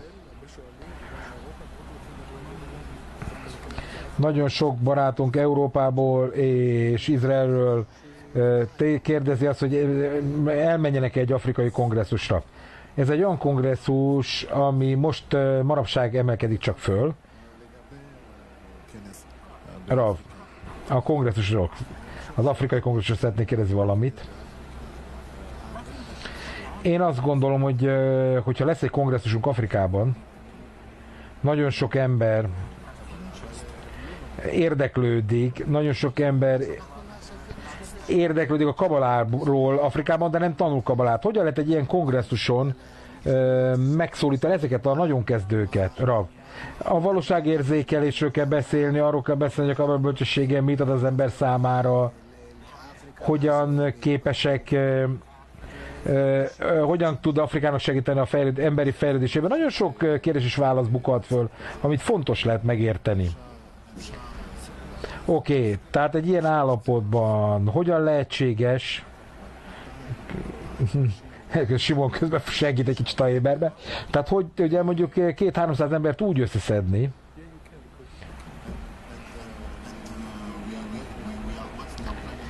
Tehát amit mi tervezünk az, hogy még ön előtt oda mennénk, mi oda megyünk 6 hónappal ön előtt, és adunk leckéket, amivel felkészítjük az ottani embereket, és mi és két-háromszáz embert szeretnénk megszólítani azokon az embereken túl, akik ma velünk vannak, tehát az én kérdésem az, hogy ez rendben van, hogyha így nyitjuk föl, tehát rendben van-e, hogyha olyan embereknek is kinyitjuk a kabalát, akik csak érdeklődnek, hiszen nagyon sok embernek csak valamilyen ködös elképzelése van a kabaláról. Itt minden attól függ, hogy mit hogyan készítetek fel magyarabb. Lehetséges, hogy csinálunk egy napot a valódi kezdőknek, akik nem tudnak semmit az egészről, a második nap pedig a, a kicsit a, a fejlettebb tanulóknak. Attól függ, hogy mit hogyan akarunk. Tehát nézzétek, dolgozzunk ezzel, hogy hogy lehet ezt jól megcsinálni. Én nem tudom, mondja Rav, hogy ez egy nagyon kemény munka, nem tudom, hogy ezt hogy lehet megfelelő módon így összekapcsolni embereket, de egy biztos vagyok, hogy lehetséges, mondja Rav. Oké. Okay.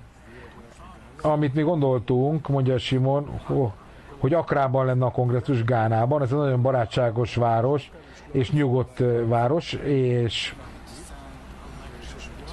és leckéket adnánk angolul és franciául is, két leckét naponta, és rögtön utána pedig egy virtuális kurzus nyomnánk, amit akartok. Tehát én boldog vennék, hogyha elmehetek oda veletek, és megtetem, amit akartok. Megmondjátok nekem, hogy mi legyen a téma. Egy másik kérdés.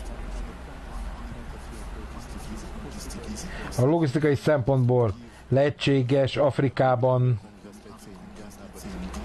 Gánában szervezni egy kongresszus, de, na, de egy másik országban is leckét adni, ami közel van Gánához, hogy az embereknek terjesszünk, hogy eljöjjenek Gánába? Tehát ugye, hogy ön Amerikában csinálta? Tehát ön is meg tudná tenni, egy másik országba is elutazik? Talán igen, mondja, Rav, nem tudom, mert ezt végig kell gondolni. Hát lássuk, hogy hol. De ez egy nagyon komoly szervezési munkát igényel. Vannak országok, akik valóban eh, ez egy francia nyelvű ország, ahol vannak tanulmányok, mondjuk az országot. Tehát itt eh, spiritualitás Afrikában gyakorlatilag egy csomó szellemiség ezekből az országból jön, az emberek spirituálisak, de nem ismerik a kabalát. Tehát ezek érdeklődnek a spiritualitán. Tehát én nagyon szeretném, hogy elvigyük önt oda, nem a voodoo miatt, hanem, hanem hogy azért, mert mindenütt, ahol ön ön óriási befolyást gyakorol az emberekre, tehát ez egy óriási erő, amit ön képvisel. Tehát, hogyha elmegyünk egy országba, az emberek mindenütt üdvözölni fogják önt. Jó, mondja. Akkor tanuljunk vudut együtt. tanuljunk vudut együtt, mondja Rav. Tehát egy egész évet készítünk elő. Egy év van, hogy előkészítsük ezt, bocsánat. Tehát el kell döntenünk, hogy mi történjünk. Nyilván a, a dátumot jól meg kell határozni, és hogy mit kell ott csinálni, azt is természetesen mondja Rav. Micsoda lépés ez, hogy bejutnak Afrikába, elképesztő. Tehát nyilván ezt komolyan kell vennünk, elő kell készíteni a médiát, mi augusztus-szeptemberben lesz jövőre ez. Tehát meg kell néznünk a hoteleket, a repülők, repülőket, hova van nemzetközi légijárat, ne legyen ott egy másik kongresszus, annyi hotel nincs, mondja, mondja Simon. Tehát az a két kongresszus elfoglalja az összes szállodát. Tehát, tehát mi a legjobb ennek? Így van, mondja.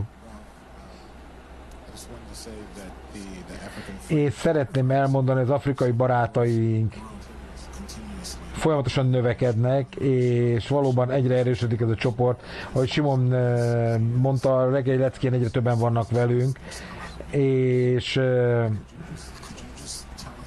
el tudná mondani nekünk, hogy hogyan látja ön a fejlődést, ahogy haladunk előre, és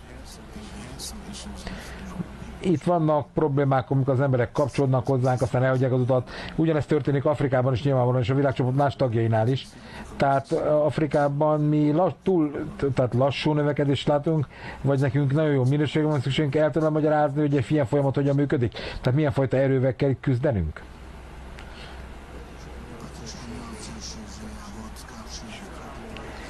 Én mindenek előtt olyan módon szeretnék együtt dolgozni, hogy akik velünk maradnak, azok maradjanak is velünk. Tehát a kongresszus előtt és a kongresszus után ugyanazok az emberek benn maradjanak a rendszerben, mondja tehát az emberek, akik elkezdenek tanulni velünk, akik elérik azt a célt, hogy a teremtés célját az élet értelmével kell érteni, föl kell fedezni a teremtőt és a teremtés programját, akik majd centrumokat fognak nyitni, akik tanítók, tanítókká válnak, akik nem csak tanulnak, hanem tanítani fogják ezt a módszert. Persze, hogy ezt akarom, hogy történjen, mondja Rab. Hát majd meglátjuk, hogy ez hogyan lehetséges. Lehetséges, hogy mi találunk és olyan embereket, akik nagyon következetesen mennek az úton, és akarják fenntartani és folytatni ennek a bölcsesnek a terjesztését, és nem hagyják el az utat természetesen. Meglátjuk. Én készen állok, ennyit tudok mondani, mondja Dolgozunk ezen együtt. Dilis hívják, ez a, úgy látszik a hölgy az, aki... Van még kérdésed? Igen. Terence említett más helyeket és más országokat is. Nagyon rossz az internet a kis. És a hölgyeknek van egy kérdésük, akik követik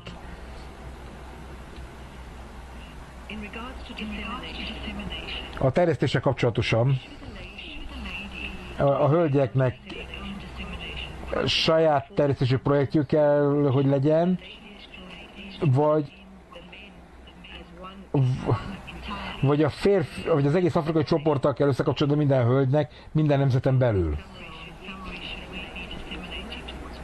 Tehát, hogy a nők terjeszthetnek önállóan, vagy pedig egyetlen hatalmas terjesztési erőt kell építenünk Afrikában.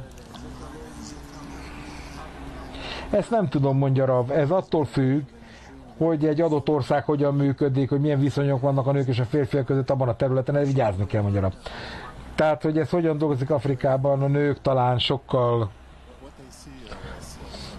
amit én látok a francia területeken, ott nagyon sok férfi dolgozik, de a nők csendesek és visszavonultak. Ők szeretik, lájkolják az oldalakat, de ők nem lépnek be, nem lépnek be még az oldalra. Nem tudom, mire várnak, mi lett a blokk, ezt még nem értem pontosan, még én se értem. Tehát Kamerun és a többi francia, Szenegál, stb. Tehát, hogy a nők miért nem aktiválódnak.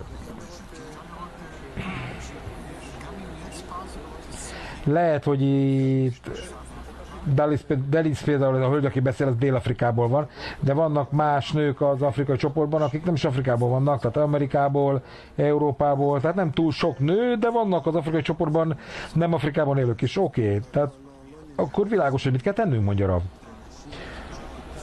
Nekünk nem a nőknek kell kiterjeszteni a, a terjesztést, mert valószínűleg ezek még szokás oldalakon e, e, problémásak. Oké, az én érzésem mondja e, e, Terence, hogy hogyha egy afrikai nőt látjuk, akkor egy afrikai női csoporttal kapcsolódnak össze, akkor, akkor sokat tudnak tenni. Tehát nyilvánvalóan azért az afrikai nők nagyon nagy erőt képviselnek, csak én nem tudom, hogy hogy lehet őket majd beindítani. Lehet magyarul, én ezt nem tudom, és ezt nem is tudom nektek megmondani, ebben nincsen vagyok tapasztalt. Ha az afrikai országban a szokások nem ilyenek, és, ez az, és hatalmas zavarokat okoz a nőknek, akkor nem szabad ezt erőltetni. Én azt gondolom, hogy hogy úgy tegyünk mindent meg, hogy a lokális karakterek mentén tudjunk dolgozni. És az, ami a férfiaknak megfelelő, azt a férfiaknak, ami a nőknek, a nőknek.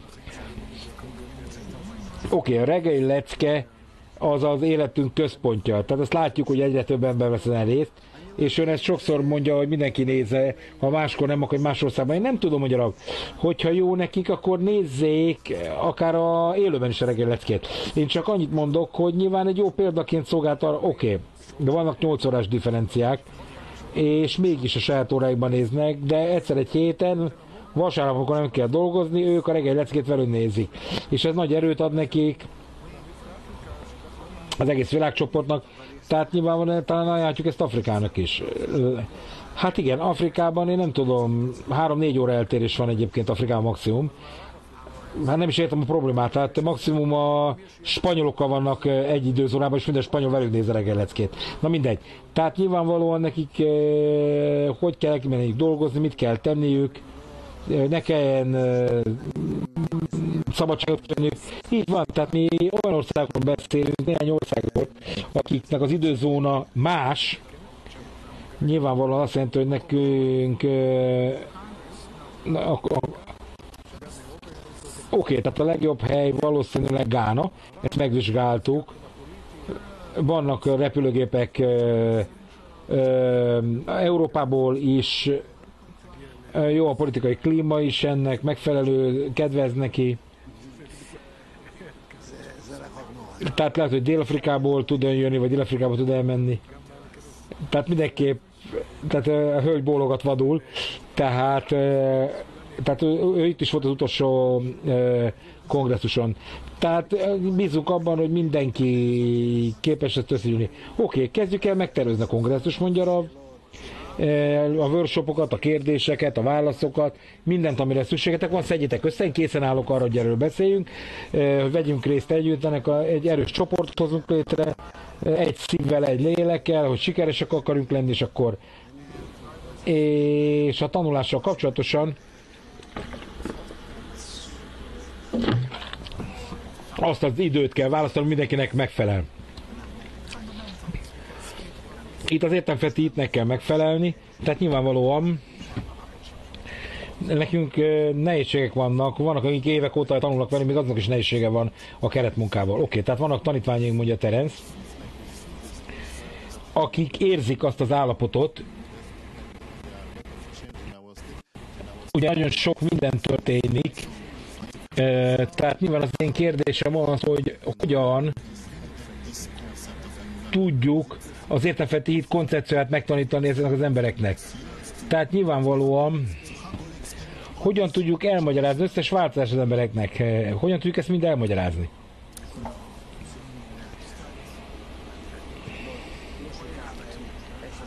Tehát nyilván ezt fokozatosan lehet csak elérni.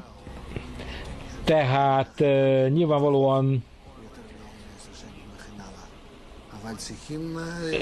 ugye lehet, hogy valakinek tíz év volt szükség arra, hogy ezt megértse az értelmfeti állapotát, tehát nyilván itt az alapvető dolgokat kezdte meg tanulni, és ezeket a kurzusokat így kell érteni. Tehát mellesleg a veteránok, a workshopok, tehát ezek valóban vannak emberek, akik évek óta velünk vannak, és nem érzek különbséget, hogy velük workshopolok, vagy, vagy a petökveikkel workshopolok. Oké, okay, mondja Ralf, tehát akkor köszönjük szépen mindenkinek, mindenkinek a legjobbat kívánunk, készítsük elő a kongresszus, és ölelek mindenkit, csókolok mindenkit, és mindenkinek a legjobbakat kívánom, és akkor egy dolgot tudtunk meg, hogy jövőre Gánában kongresszus lesz, és reméljük, hogy ezt sikeresen is bonyolítják. Sziasztok!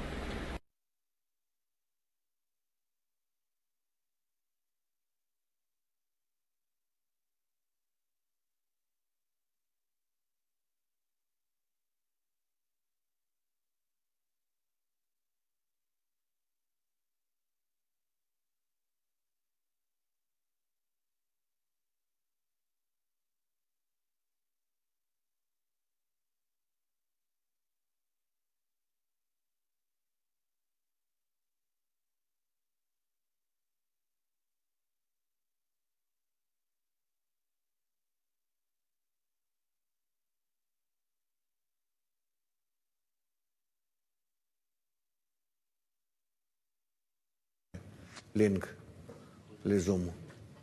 טוב, ולחשוב מה זה נקרא אמונה למעלה מהדעת, שאנחנו צריכים לדמיין את העולם המתוקן בגמר התיקון כמו שעכשיו קראנו, כן? למרות מה שאנחנו רואים דרך הגוף הזה, תמונה הפוכה. כן? זה הדת, ואנחנו רוצים להגיע לאמונה למעלה מהדת. ואז איפה, איפה המחשבות של האדם שם הוא נמצא. בסדר? הודעה לסיום. ישיבת החברים העולמית הערב משעה 6.45 אנו מזמינים את חברינו מהכלי העולמי להתאחד, להתחבר ולהיות יחד בישיבת החברים העולמית. תודה ויום טוב. שיר.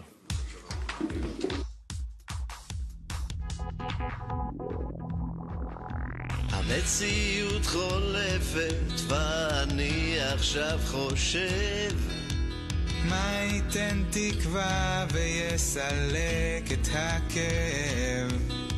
יוצא אל הרחוב, מתערבב בתוך כולם. מי צריך את מי יותר, אני או העולם? Here we are, you should come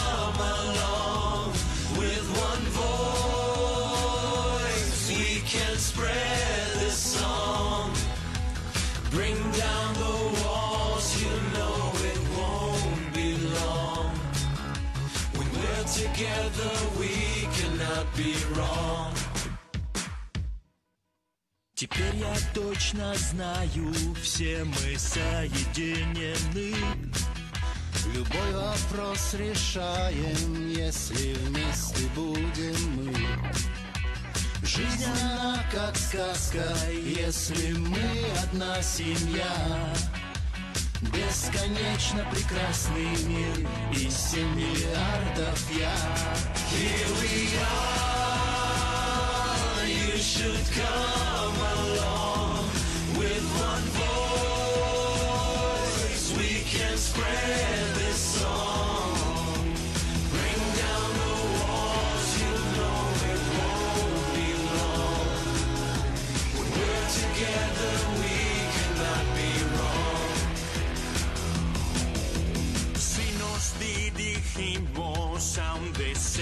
por la unión, Todas las puertas se abren al abrir tu corazón.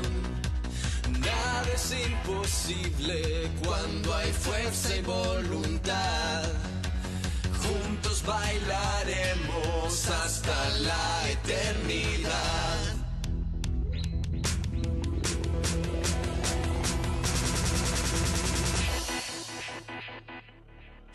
We are, you should come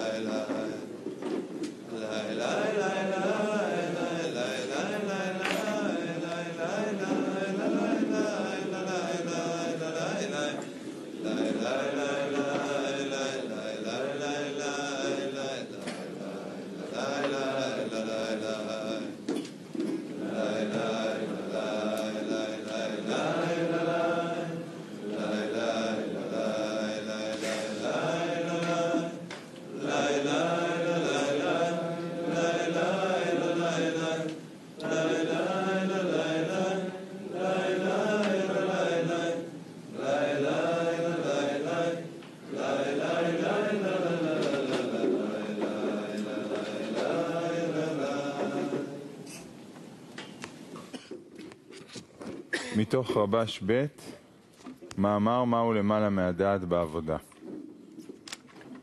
עניין אמונה למעלה מהדעת בעבודה, פירושה שצריכים להאמין אף על פי שהשכל לא רואה שהוא כך, ויש לו כמה הוכחות שאינו כך, כמו שהוא רוצה להאמין, זה נקרא אמונה למעלה מהדעת. היינו שהוא אומר שהוא מאמין כאילו היה רואה זה בתוך הדעת. זה נקרא אמונה למעלה מהדעת בעבודה. כלומר, שזוהי עבודה גדולה שהאדם יקבל על עצמו זה, הוא נגד הדעת. זאת אומרת, שאין הגוף מסכים לזה. מכל מקום, הוא מקבל על עצמו כאילו זה היה בתוך הדעת. ולאמונה כזאת צריכים עזרה מהשם. לכן, על האמונה בצורה כזו, האדם צריך להתפלל שייתן לו כוח, שיהיה דומה אליו, כאילו השיג זה בתוך הדעת. כלומר, אין לאדם להתפלל להשם שייתן לו להבין הכל בתוך הדעת, אלא שיתפלל להשם שייתן לו כוח לקבל את האמונה למעלה מהדעת, כאילו שזה היה בתוך הדעת.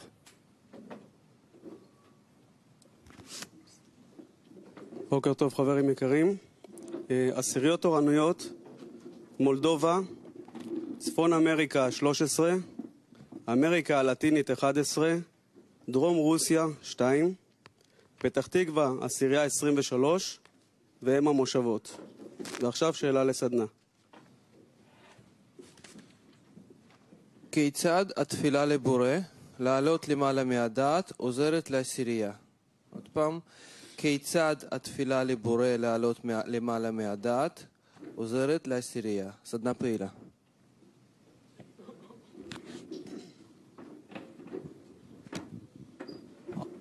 אה, בקשה להיות למעלה מהדת עוזרת אה, לעשירייה בזה שאנחנו עושים מאמץ אה, כל אחד לבטל את עצמו ולהתקלל במרכז העשירייה.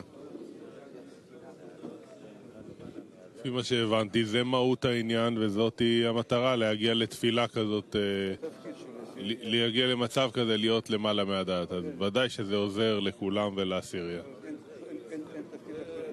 למעלה מהדת נמצאת תכונת ההשפעה, ואנחנו, ברגע שמבקשים להיות שם, אנחנו מקבעים את המצב להיות דבוקים בבורא. טוב, אה, אני לא יודע מה, מה זה אומר אה, תפילה למעלה מהדעת עוזרת לעשייה. בדיוק, זו תכלית העבודה להגיע ל, ל, למעלה מהדעת.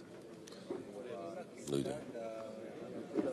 כן, כל השבת דיברנו על אה, לא להתפלל עבורנו, אלא לעשות נחת רוח לבורא, אז אולי זה עוזר לנו לדרוש לעשות נחת רוח לבורא.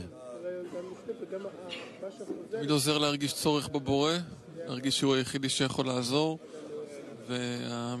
ובעשירייה זה המבנה שאפשר לממש את זה, שאפשר אה, ליצור את המציאות הזאת של, אה, של תפילה. משתפת את כל העשירייה, כוללת את כולם. שיבוא... כן, בתוך הדת אה, זה כל אחד עם עצמו, בפירוד, בהסתכלות על המציאות מתוך פריזמה שבורה, אה, לפי הרצון לקבל אה, מה נוח וטוב לי לעצמי, ולמעלה מהדת זה להסתכל על ה... מה טוב לזולת ומה טוב אה, לגילוי הבורא בעולם.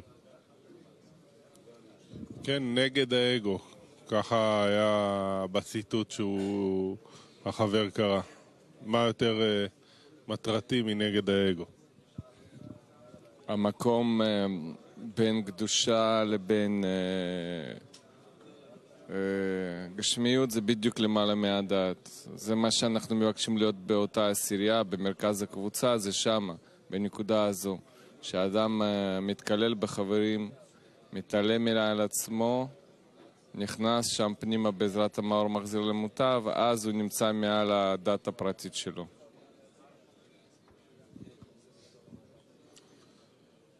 אה, להיות למעלה, להיות בתפילה למעלה מהדעת, אה, זה המצב הנכון כנראה,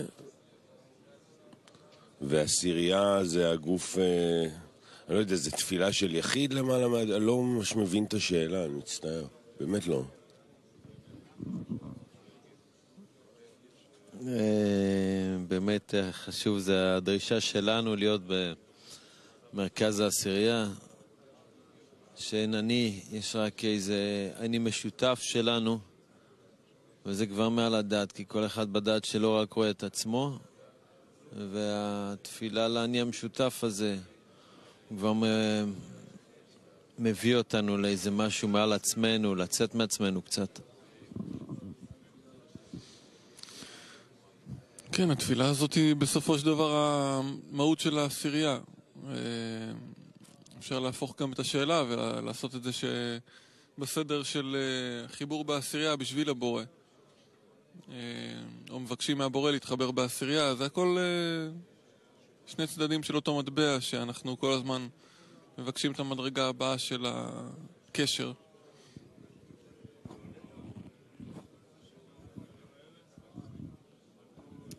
שאלה של הכנה לשיעור, אז כל אחד בא מהמיטה הפרטית שלו, עם הכרית הפרטית שלו, החלומות שלו. ואנחנו מתעוררים אה, למקום שלאט לאט אנחנו מייצבים איזושהי דרישה לבורא. וכמה שהיא תהיה יותר מדויקת ונכונה, יהיה לו מה לענות לנו בחזרה, ואנחנו רוצים שזה יהיה יותר קרוב לחיבור בינינו.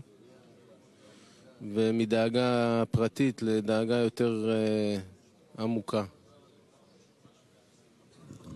מעבר לסיסמה הזאת, אמונה מלמעלה מהדעת, מדובר על מצב של השגה, של הרגשה מצד האדם שהוא אה, קפץ מעל הדעת שלו, מעל הרצון לקבל שלו, ויש לו אפשרות להרגיש ולהשיג שם. זה מצב שהבורא נותן. אז זה גם דבקות בבורא תוך כדי. הדברים, זה הדבר, הדברים הכי גדולים שיכולים להיות במציאות. אנחנו צריכים לשאוף להגיע לנקודה הזאת תוך כדי שיעור. התאספנו כאן בשביל להתחבר ולהשפיע נחת רוח לבורא. ולמעלה מהדת זה מצב העליון שלנו כלפי נקודה הזו עכשיו. כל פעם זה השפעה מעל הקבלה, זה משחק כלפי החברים. זה לנסות ללכת לפי כללי רבש ולהיות בעבודה במהלך שלוש שעות הקרובות. זה, זה הדת העליון עכשיו. להיות בעבודה משותפת, אה, להתחבר, לעשות, אה, לא לשכוח בעצם שאנחנו, זה מה שאנחנו מנסים לעשות פה, וזה יעזור לנו בעצם אה, למשוך את המאור בצורה יותר אה, נכונה. נעשה את זה ביחד. כן, זה רגע מאוד שמח, שבאמת יש לנו הזדמנות להכיל את כל החברים, כל הכלי עולמי למרכז העשירייה, לבקש אה, להיות ככה בדרישה אחת, ועם זה להיכנס לשיעור. כן, העיקר שנעשה את זה ביחד, העיקר שנהיה בכיוון אה, משותף לבורא. עם זה ניגש למקור, ניגש לשמוע את רב, אחד את השני, לשמוע מאחורי כל חבר את הבורא, אה, וככה להמשיך.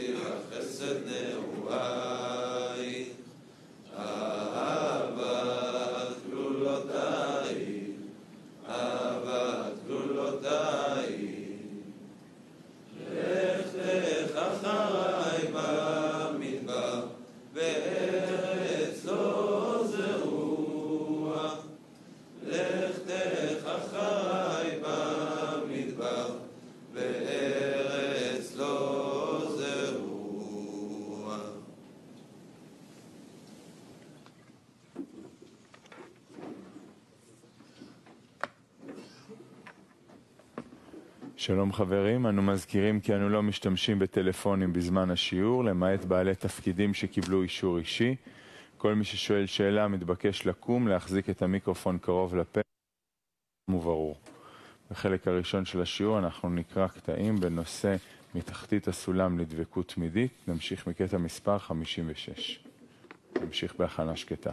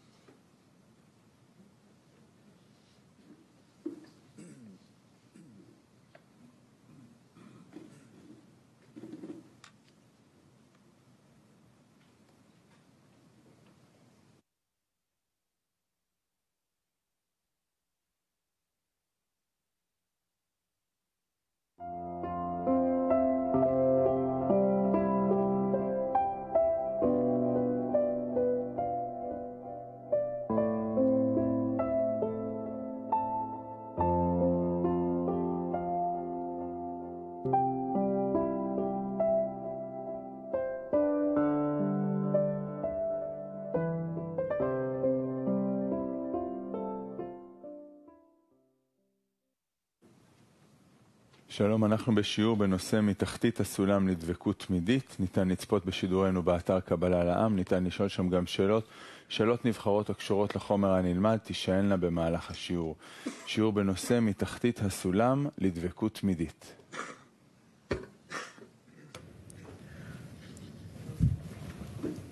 אולי כבר אמ, אנחנו יכולים להבין מה קורה לנו בדרך, שכניסה לסולם זה הבעיה בעצם הכי גדולה, שבנקודה הזאת אדם מהפך את הטבע שלו, עובר היפוך. שאין כמוהו, לא לפני זה, לא אחר זה. עובר מ... על מנת לקבל, על מנת להשפיע מדעת ללמעלה מהדעת, מתכונת הנברא לתכונות הבורא. המעבר הוא מעבר מאוד מאוד אה, מורכב, לא מובן. אה, אי אפשר להיות מוכן אליו. ולכן אנחנו נמצאים אה, לפני שעוברים אותו במצבים מאוד לא נעימים, לא מובנים, קשים. אבל אה, כבר בכל זאת מתקדמים, וחוץ מזה שמתחילים לדבר למעלה מהדעת מה זה, גם כן לאט לאט להכיר במקצת, בכמה שאפשר, עדיין לא על בשרנו, אלא לפי השכל שלנו. קצת אולי ברגש רחוק מאיתנו, מה זה יכול להיות. וכך מתקדמים. אה, יש כאן עבודה ב... אה, בכמה הבחנות, בכמה אמצעים, גם בתפילה, גם בעבודה פיזית, במאמצים, בהתארגנות בקבוצה, בעבודה לכל אדם בפני עצמו. איך שהוא מסדר את החיים שלו, המשפחה שלו, העולם הזה, ולעומת לימוד, קבוצה, העולם העליון והבורא. אלו דברים שכולם, כולם, הם מקבלים עיצוב הרוחני, ואז uh, הוא מוכן. לקליטה בדרגה הראשונה של הסולם. הדרך שעברו בו הרבה מקובלים, זאת אומרת, כל מקובל ומקובל ודאי, אחרת אין, אין אפשרות אחרת. ואנחנו צריכים לבדוק איך בכל זאת אה, עובר עלינו, עלינו השינויים, השינוי, ואיך אנחנו צריכים להתנהג כדי שהשינויים האלה יעברו עלינו כמה שיותר מהר וכמה שיותר קל. כי בכל זאת, הכוונה שלנו צריכה להיות להגיע ליישום, לדבקות התמידית וכוח עליון במוחה וליבה. ולא לחשוב שבמדרגה הראשונה יש לנו איזשהו חצי, רבע או אחד חלקי 125 מדבקות התמידית. לא, בכל מדרגה ומדרגה דבקות התמידית הוא לפי התנאים שמתגלים לאדם אה, בכניסה לאותה מדרגה. אז אה, לכן אה, להשתדל לכולם תנאים האלה להבין. אני ממליץ לפתוח איזה דף ושם לרשום כל התנאים שאתם חושבים שהם הכרחיים כדי אה, להתקלל, להיכנס לתוך המדרגה הרוחנית הראשונה, ואחר כך תראו איזה נכון דברים, איזה לא נכון, שזה רק אמצעי וזה התנאי ההכרחי ששייך למדרגה עצמה. צריכים על זה לעבוד.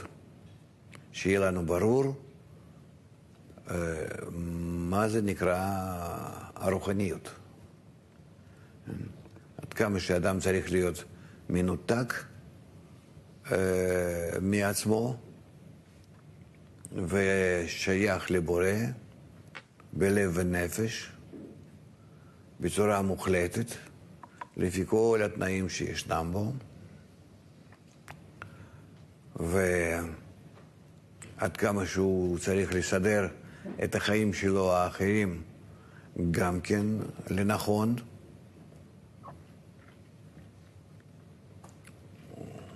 זה, כל הדברים האלה כדאי שהם יהיו מסודרים, אז שיהיה דף ששם אדם כותב בקצרה מה הוא חושב שהכרחי בשבילו בגשמיות לסדר וברוחניות לסדר.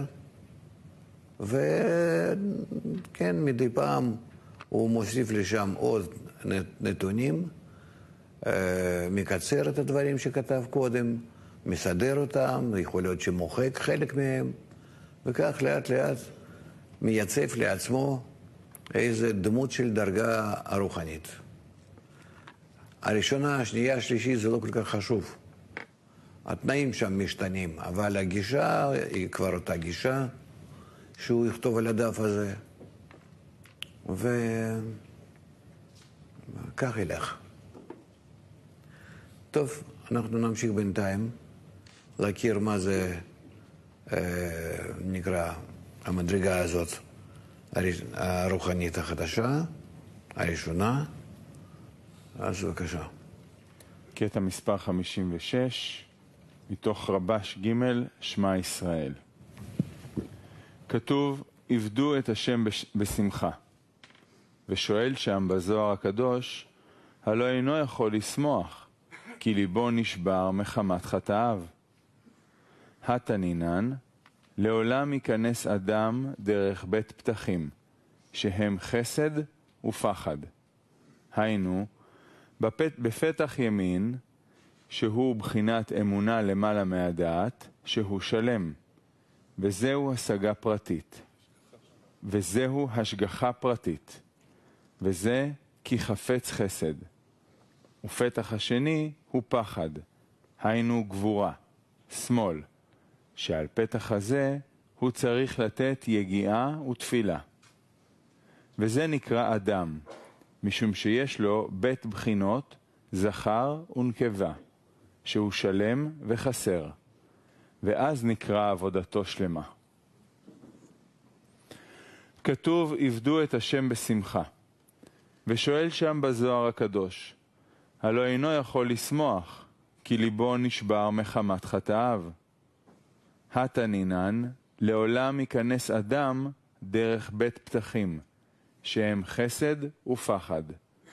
היינו, בפתח ימין, שהוא בחינת אמונה למעלה מהדעת, שהוא שלם, וזהו השגחה פרטית, וזה כי חפץ חסד. ופתח השני הוא פחד, היינו גבורה, שמאל, שעל פתח הזה הוא צריך לתת יגיעה ותפילה. וזה נקרא אדם, משום שיש לו בית בחינות זכר ונקבה, שהוא שלם וחסר, ואז נקרא עבודתו שלמה.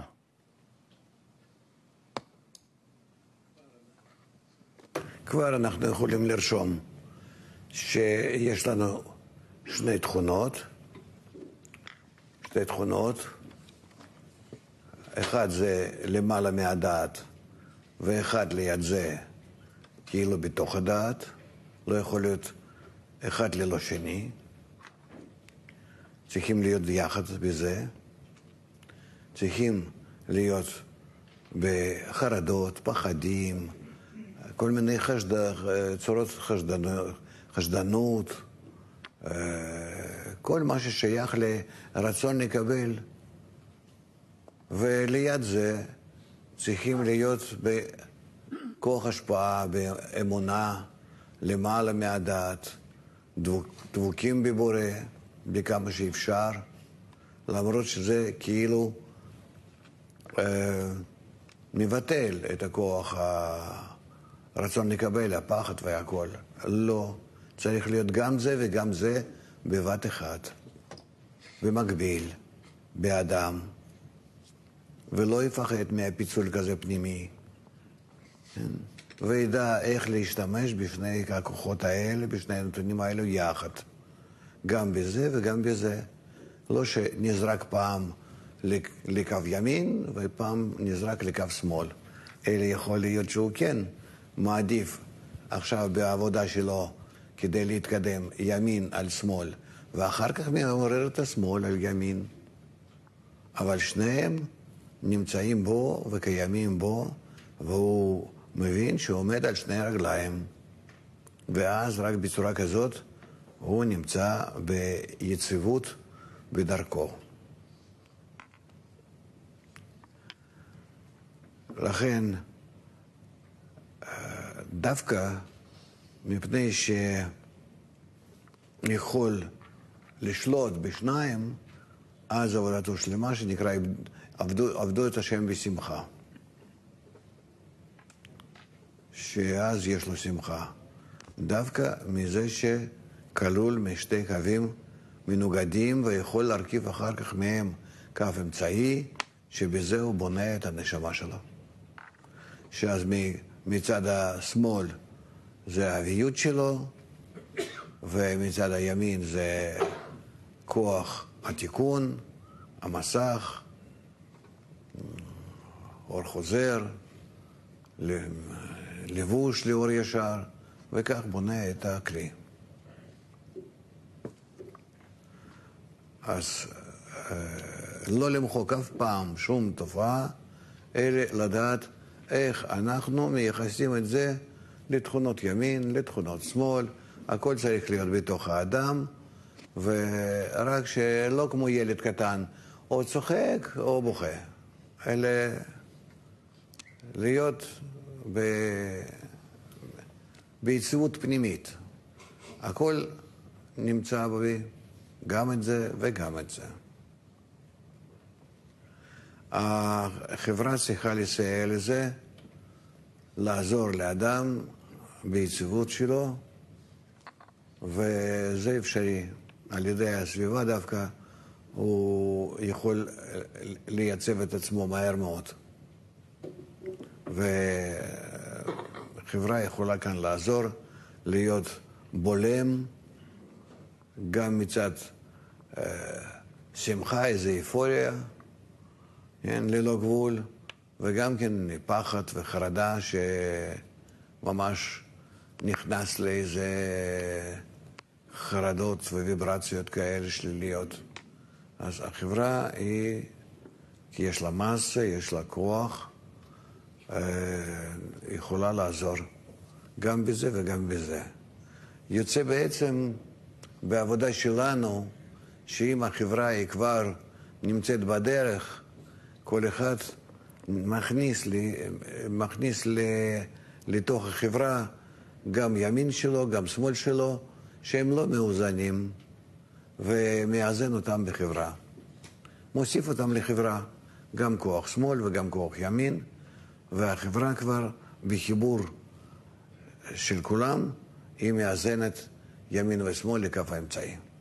ואז במרכז הקבוצה מתחיל לגדול, לצמוח, אה, ככה, כמו עץ, כף האמצעי, עמוד התפילה, וזה העבודה הנכונה כלפי הבורא, שהוא מתגלה דווקא בכף האמצעי הזה.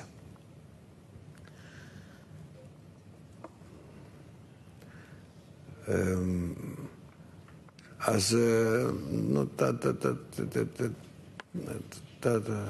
צריכים שוב לחזור על זה, אז אני אשאל בכללות. מה זה נקרא עבודת השם שלמה? בבקשה. תוסיפו זה לזה, שיהיה לכם מהר. אה, שמענו שצריך לעבוד בשתי קווים, שיהיה לבן אדם גם כן את ה...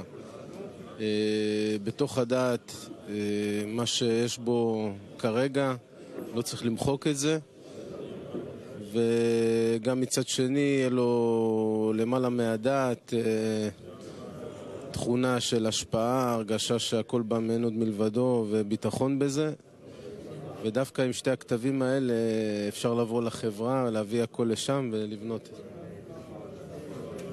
כן, שלא ייעלם ממנו שום דבר, שהוא מצוי בכל ההבחנות, ימין, שמאל, ומחבר אותם על ידי כוח הבורא לאמצע, ובזה עובד ו... וחי ומשיג. כל פרט מכניס את הקו ימין וקו שמאל שלו לתוך הקבוצה, והקבוצה היא בולם זעזועים.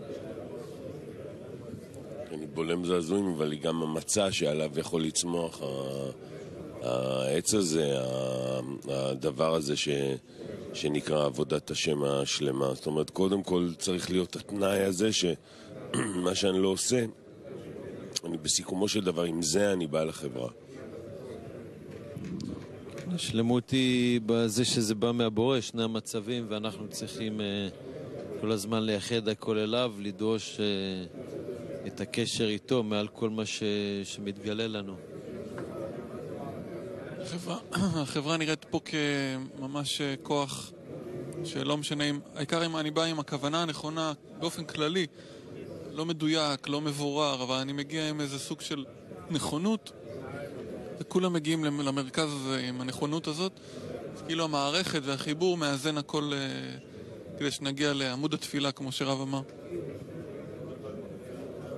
כן, בהתחלה הוא נמצא כמו ילד, אה, רב אמר, או צוחק או בוכה,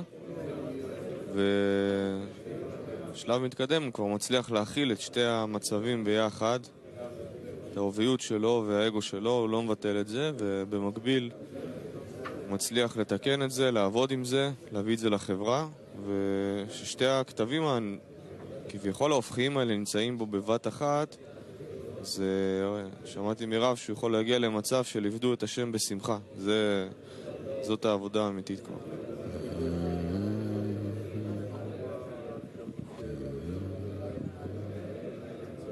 כן, שמחה לפני זה זה אופוריה בהרגשה שנעים וטוב ועלייה, זה שמחה לפני.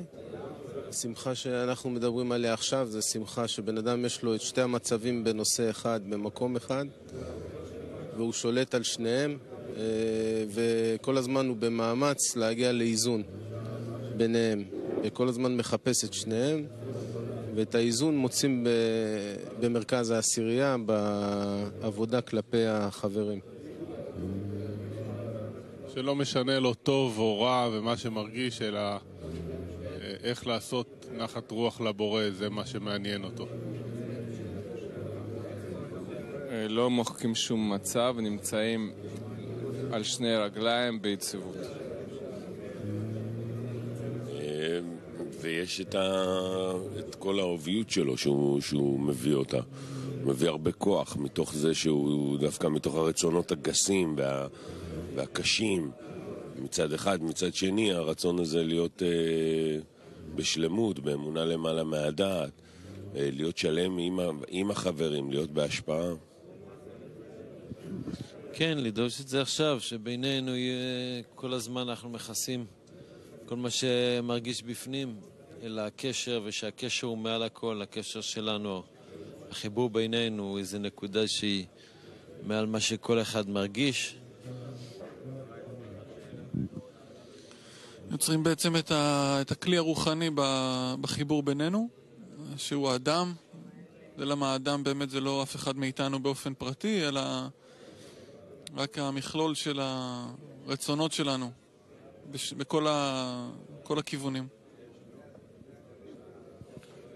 אני חושב שהניואנס פה הכי בעייתי זה הקטע שזה במקביל, שדבר לא מבטל את השני, איך אנחנו באמת אה, לוקחים את זה פרקטית לעבודה בינינו, שכל העוביות... קטע מספר 57, מתוך רבש ב', מהו מבול מים בעבודה.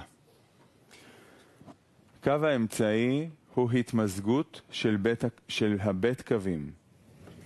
והיות שהקו ימין דקדושה הוא בחינת שלמות, מבחינת למעלה מהדעת, וקו שמאל נקרא זה שהוא רואה בתוך הדעת, שהוא בלתי שלם, אלא להפך, מלא חסרונות. לכן קו אמצעי הוא בנוי מבית קווים. כלומר, שאי אפשר ללכת למעלה מהדעת מטרם שיש לו דעת, המראה לו את המצב, איך שהוא נראה לעיניו בתוך הדעת. אז שייך לומר שאינו מסתכל על מה שהשכל מחייב אותו לעשות, אלא הוא הולך למעלה מהדעת. מהשכל. אלא הוא הולך למעלה מהשכל. אלא הוא מאמין באמונת חכמים, מה שהחכמים אומרים לו, ולא משתמש עם השכל שלו. מה שאין כן, אם אין לו שכל ודעת, שיגיד לו משהו, לא שייך לומר שהוא הולך למעלה מהדעת. לכן נקרא קו אמצעי בחינת שלום, היות שהוא נצרך לבית קווים. כלומר, בזה שיש לו בית קווים מנוגדים, והוא נצרך לשניהם.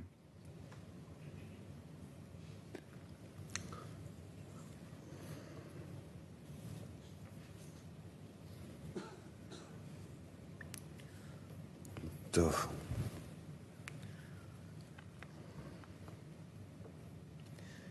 קשה לבנות מזה שאלות, כי הם קטעים כאלה אינפורמטיביים.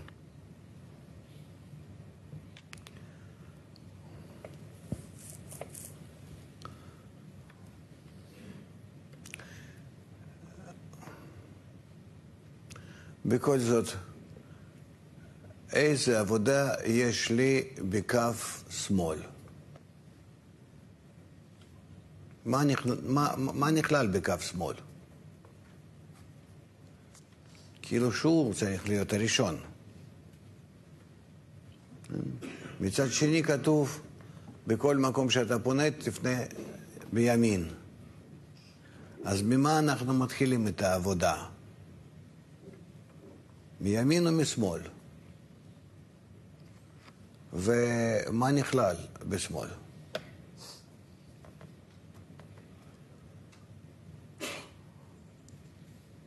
קדימה. אה, מה מתחילים? מתחילים בימין, כמו שאני זוכר, כי אה, עלולים, אה, אם מתחילים בשמאל, ליפול אה, כסיל יושב ואוכל את בשרו, ולא יצא לו מזה שום דבר.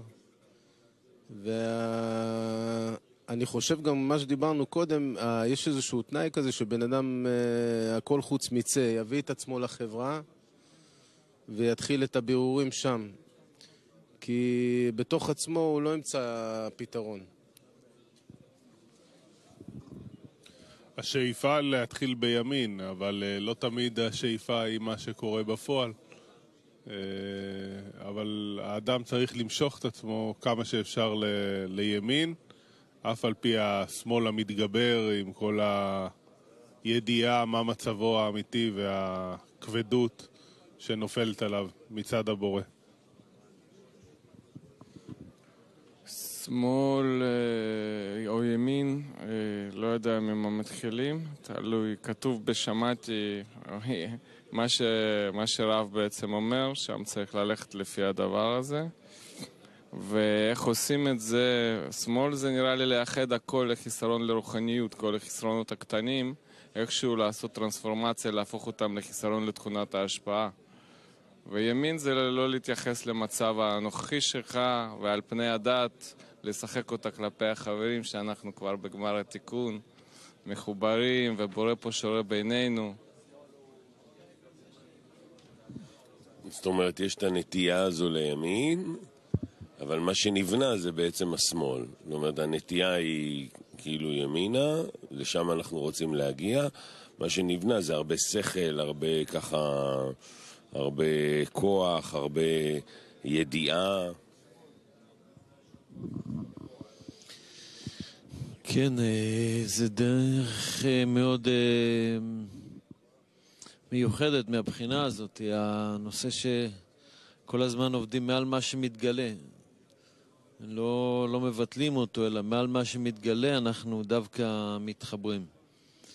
זה מאוד מיוחד, וזה אפשר לעשות רק דרך החברה, שעוזרת לבן אדם לצאת מהראייה של עצמי למשהו יותר מפוקח כבר, שלא בחזקת ילד ולא בחזקת אה, מדען, אלא בחזקת אה, מקובל יותר. ויהי ערב, נראה לי שהם מתחילים כאילו כל הזמן מהפחד והחושך והשמאל, שזה מתגלה וזה הסימן ל- להתקדמות. ועליו מלבישים את הימין ואת האמונה ונכנסים לחיבור הזה ולמשיכת המאור, אבל כדי לזוז נראה לי צריך להתחיל תמיד מהשמאל. ו... כן, ובצורה כללית אפשר להגיד ששמאל זה הרצון, הימין זה הכוונה, שקודם כל מתגלה לי איזשהו רצון, איזשהו אה, מדרגה הבאה שלי, החבד העליון, לא מבטל אותו, ואני מנסה להשתמש בזה על מנת להשפיע מעל פני הרצון שמתגלה, אני מלביש את הכוונה הנכונה. איך מקדמים אותנו מלמעלה, בימין או בשמאל קודם, ואיך אנחנו מתקדמים מלמטה, בימין או בשמאל קודם.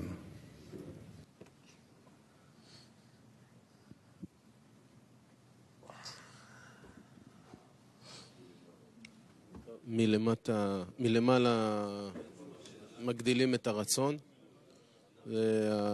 בתוך הדעת של האדם, ומלמטה אנחנו צריכים לפנות לימין ולבנות כוונה, אחרת אנחנו נשקע בתוך הרצון לקבל, ולא יהיה לנו שום הבחנות.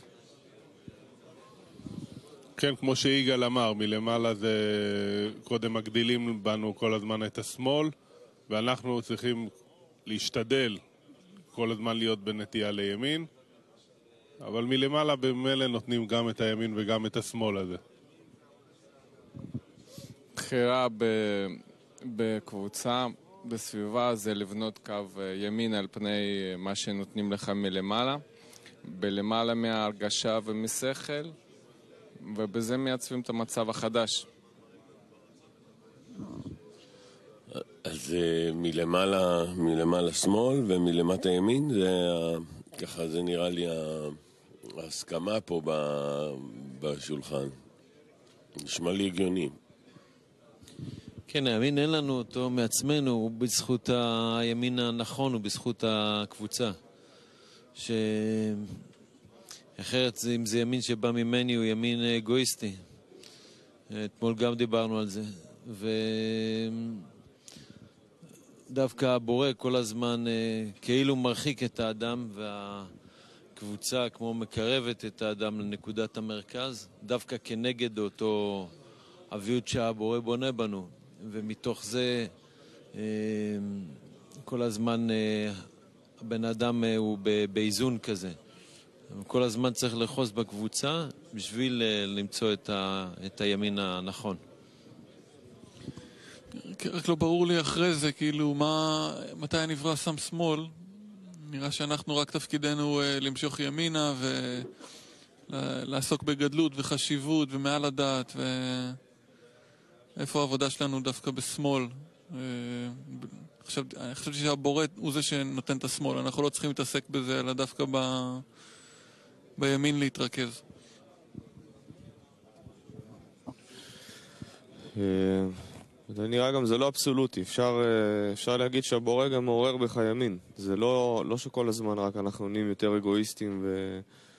וריקנים ומפוחדים, אלא באיזשהו מקום גם ה... קטע מספר 58, מתוך בעל הסולם, שמעתי מאמר מ', אמונת רבו, מהו השיעור.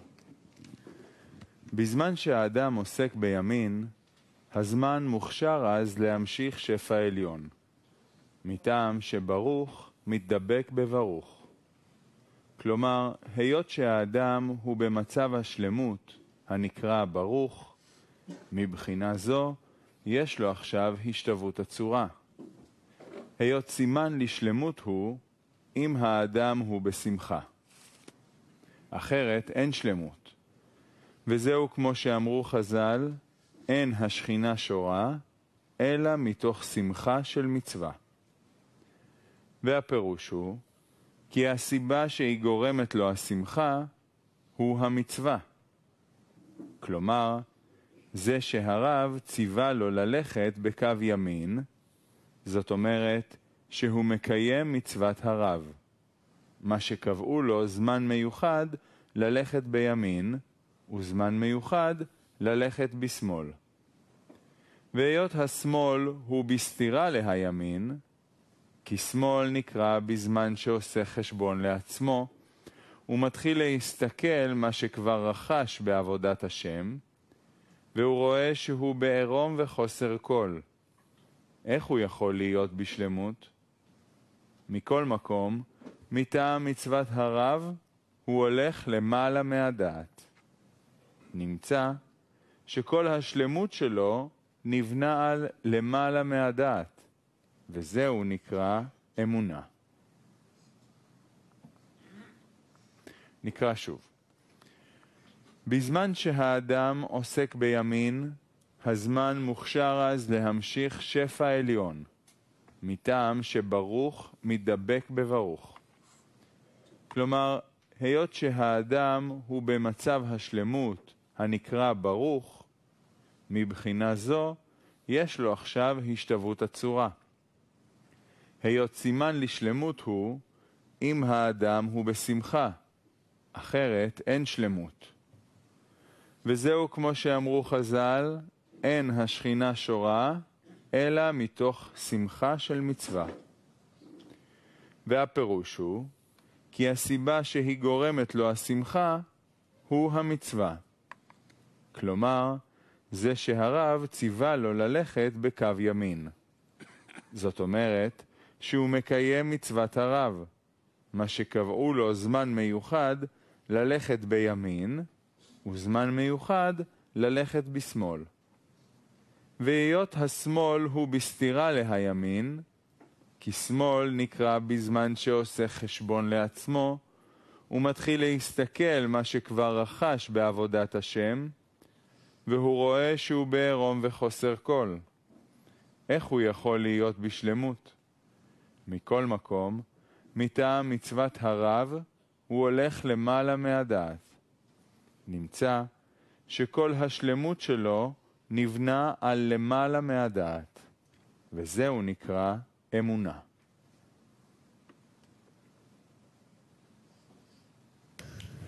מה זה הכוח שעוזר לאדם לעבור משמאל לימין,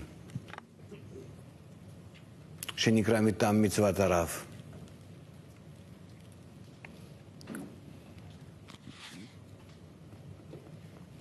מה זה הכוח שאם אדם דבוק למה שנקרא מצוות הרב, זה עוזר לו לעבור משמאל לימין.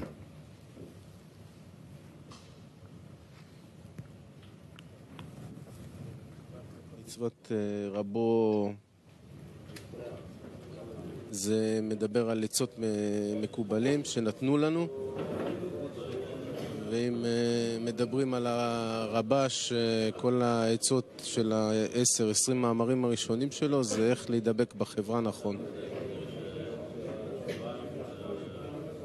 אין לי ממש מושג, אלא אולי זאת האמת. הרב זה האמת, וזה, מסמל אה, את צורת אה, קיום האמיתית, ועל זה הוא הולך, לא יודע. רב זה גדלות תכונת ההשפעה שאנחנו בונים בקבוצה, והגדלות הזאת מאפשרת לנו ללכת מעל הדת של כל אחד מאיתנו, לעשות צד כלפי התכונה הזו, בערבות הדדית שאנחנו מחזיקים אחד את השני ומשחקים את המשחק הזה עד כמה רב הוא גדול. יש אה, מצב כזה שהאדם מבין שהוא לא מבין, ומבין שהוא צריך לשמוע, ומבין שהוא צריך למסור אה, את עצמו למשהו שהוא יותר גדול ממנו. וללכת עם הדבר הזה, עם הקבוצה ועם ההדרכה, שהוא גם מקבל פה ישירות וגם אה, שזה כל שלשלת המקובלים שמגיע עד הרב. כן, זה בדיוק אמונה מעל הדעת. בדעת הוא לא רואה את ההיגיון, אבל הוא הולך אה, עם מה שנקרא אמונת רבו. זה כוח האמונה, כוח ההשפעה, שניתן לנו הזדמנות פה לעבוד עם תכונה שהיא מחוצה לנו. יש את המשל הזה שהולכים יחד אה, ומעלים אבק, אז רק מי שקדימה יכול אה, להיות אה, מי שמוביל, עם עיניים פתוחות. כל השאר צריכים אה, לסמוך על מי שמוביל, כי הם לא יכולים ל- לפתוח עיניים. אז יש, אה, יש את המקום הזה שאנחנו צריכים אה, להסתכל על המדרגה הבאה, שזה הרב. ושהוא יוביל את, ה... את הכיוון.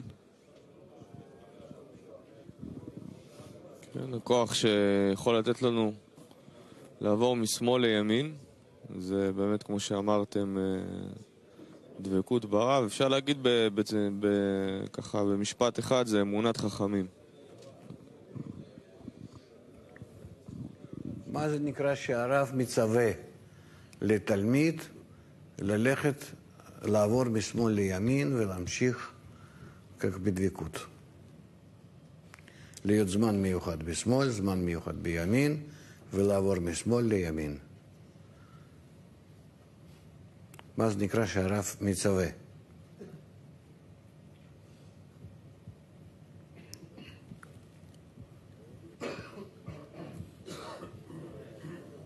אה, אפשר להסתכל על זה כמו על חוק רוחני, שהוא מסביר לתלמיד שלא יפתח את השמאל אה, בזמנים אה, שבא לו, הרגשה שבא לו להתעסק בזה דווקא עכשיו, אלא הוא מתזמן לו את הדברים כדי שיהיה יותר אה, בעבודה מדויקת כלפי רוחניות. שתכונת ההשפעה היא מצווה, אם אתה רוצה להתקרב אליה, לא רוצה, מתוך אה, אין ברירה וייאוש מהכוחות של עצמך, שניסית הכל, אז אם אתה רוצה ללכת על תכונת ההשפעה, אז היא מחייבת לעשות את המעשה הזה בצורה כזאת, שזה בכלל כנגד כל ההיגיון שאתה יכול לחשוב עליו. אבל יש לך מספיק ייאוש כדי לעשות את זה. גם אני מרגיש שזה חוק השתלבות הצורה, שאין עוד מלבדו טוב ומטיב, וכל העולם נמצא בשלמות, ואנחנו צריכים לשחק את זה בינינו, במדרגה שלנו, והשמאל זה, זה, זה חוסר אה, תכונת ההשפעה.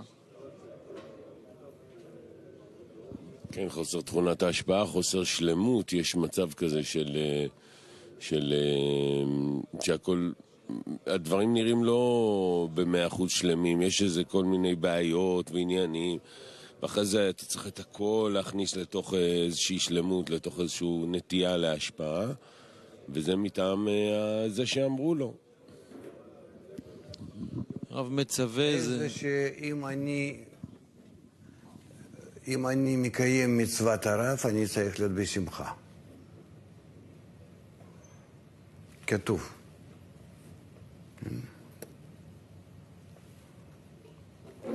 איפה זה? אה, כאן.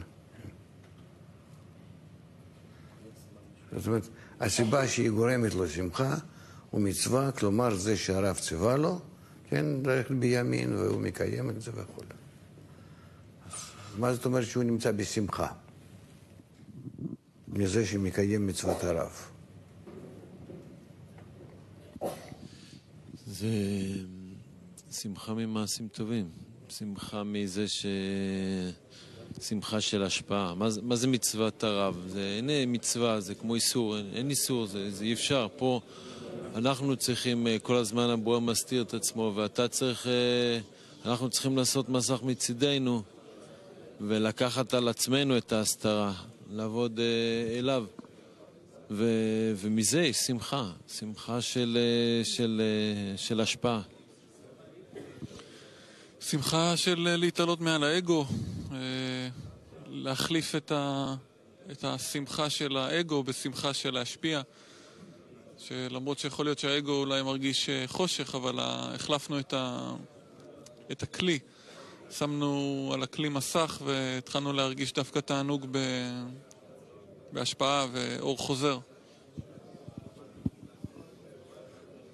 כן, השמחה, התוצאה שאתה מצליח לעשות איזושהי פעולה לפי עצת המקובלים על פני העוביות שלך ואתה רואה שיש בזה אמת, שיש בזה חן וקדושה, אז uh, כנראה מתפרצת באדם שמחה.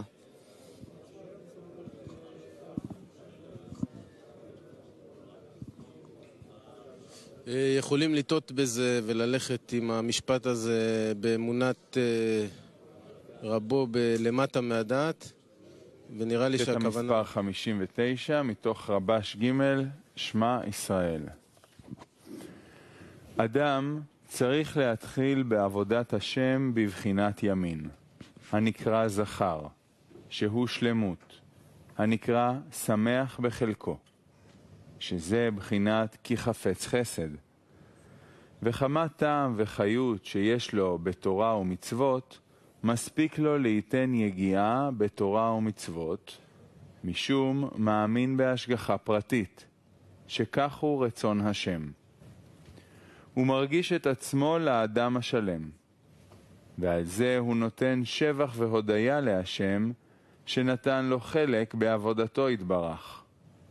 זה נקרא זכר, שמרגיש את עצמו לשלם, ותמיד הוא שמח ומקיים עבדו את השם בשמחה.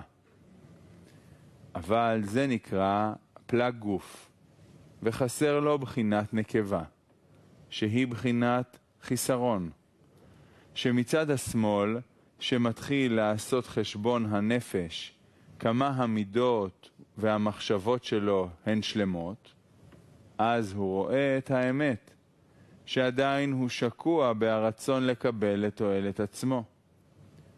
ולצורך הזולת אין הוא מסוגל לעשות, הן בין אדם לחברו והן בין אדם למקום. ואז בשיעור, ש... בשיעור שיש לו הכרת הרע, בשיעור הזה הוא יכול לתת יגיעה, היינו מעשים, בבחינת כל מה שיש בידך ובכוחך לעשות, עשה. וכמו כן, הוא יכול לתת תפילה מעומקא דליבה. מה זה נקרא שבשיעור הכרת הרע אדם יכול לעשות מעשים? בבקשה. מעשים, מגיעה.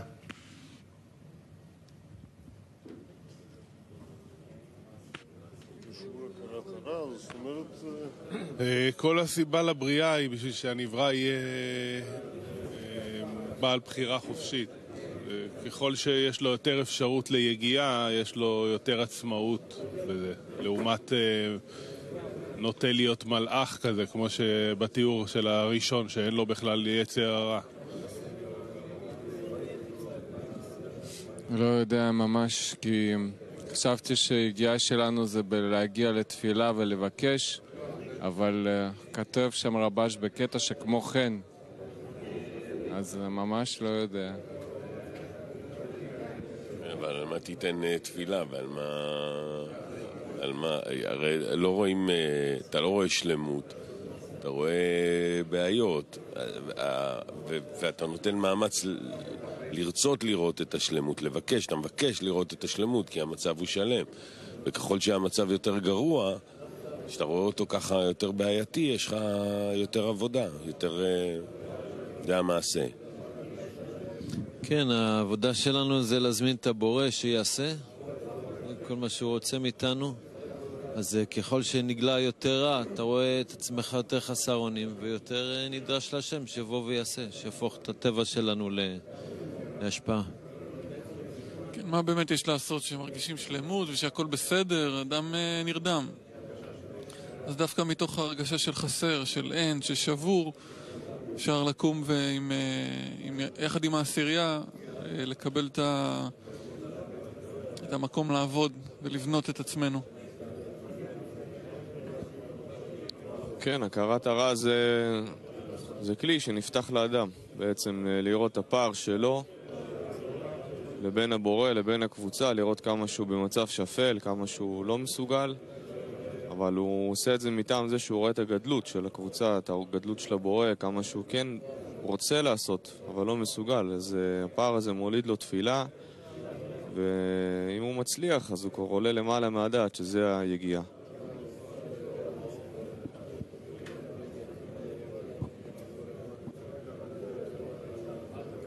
כמו השרטוט הזה שעושים כמה שיורדים למטה, ככה אחרי זה עולים למעלה. אז uh, על האדם uh, בעצם uh, לעשות בירור, על, ה... על החיסרון גם כן. כי יכול להיות שבן אדם, יש לו הרבה רע, אבל הוא לא רואה את זה בכלל, אין לו הבחנות על זה, הוא רואה את זה כטוב. אז הכרת הרע זה האדם בעצם, צריך להכיר בזה, וזו העבודה שלנו והמאמצים שאנחנו עושים בחיבור בינינו. שככל שיש לו התנגדות ושנאה, אה, ככה יכול לתת יותר אה, מאמצים, וזה עושה יותר נחת רוח. הכרת הרע זה פער בין אה, גדלות הבורא לבין שפלות עצמך. זה מדרגה מאוד גבוהה ומשמחת. הלוואי שכל היום היינו בהכרת הרע. איך אנחנו יכולים לשלוט על הכרת הרע שלנו, שמתוך זה מגיע לנו דחף אה, לתת גייה? איך אנחנו שולטים על הכרת הרע, שמזה מגיעים לדחף לתת גייה, לצאת מהרע.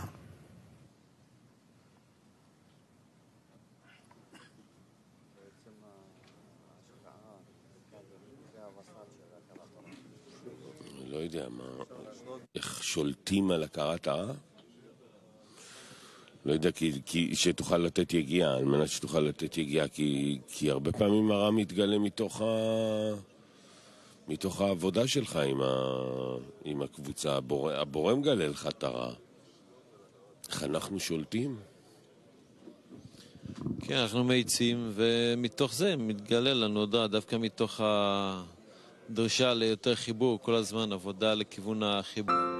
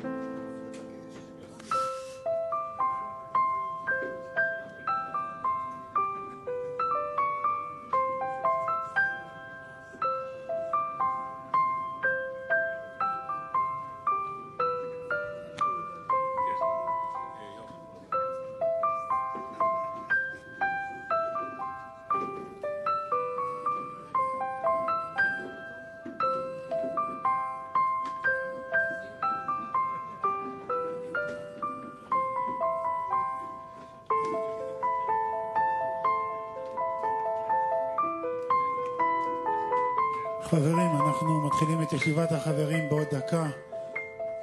בואו נתקרב קצת, נצטופף קצת, נתקרב אחד לשני, נתחמם גם בלב, גם בגוף. בואו נמלא את הכיסאות קדימה וננסה לתת הרבה הרבה הרבה כוח לחברים שלנו.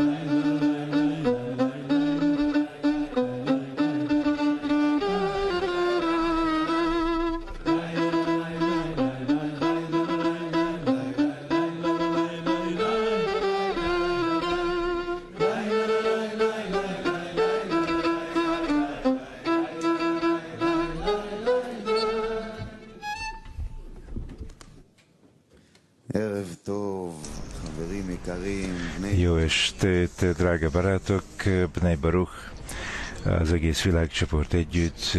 Mi együtt ülünk, a generáció legnagyobbjai, és velünk együtt együtt ülnek Egyesült Államok. Szeretnénk hallani őket, halljuk, hogy mit mondanak. John Donnelly, az Egyesült Államoktól. Joe. Hello, barátok, mondja Joe.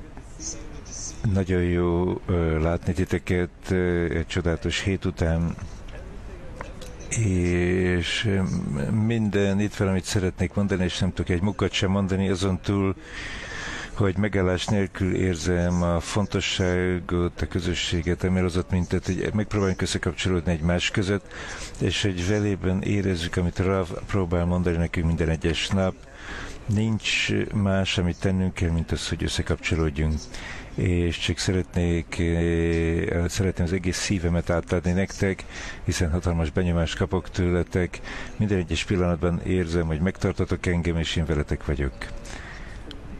És valóban Valóban ez egy olyan út, amely nem lehet a szavakat megtalálni. Mit jelent ez nekem, mekkora erőt adtok nekem, és hogy mekkora, micsoda gyakorlatokon vezettek engem keresztül, hogy megpróbálok a legjobb baráttá válni számotokra, hogy csak lehet. Minden egyes este itt vagyok a reggeli leckén, látlak tiketek a képernyőn, próbálok érezni titeket a vágyatokat, ami olyan erős. Igazából nem tudok más mondani.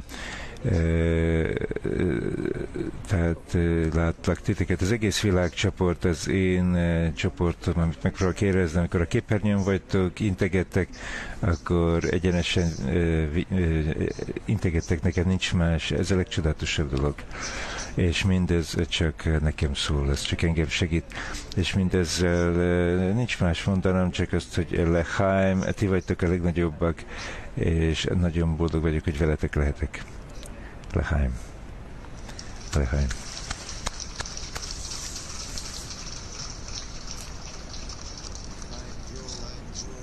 Lechaim Joe,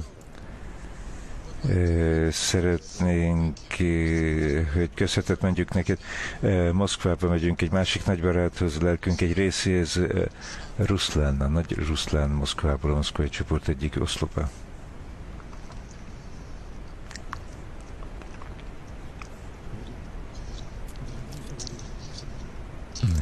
Drága barátok!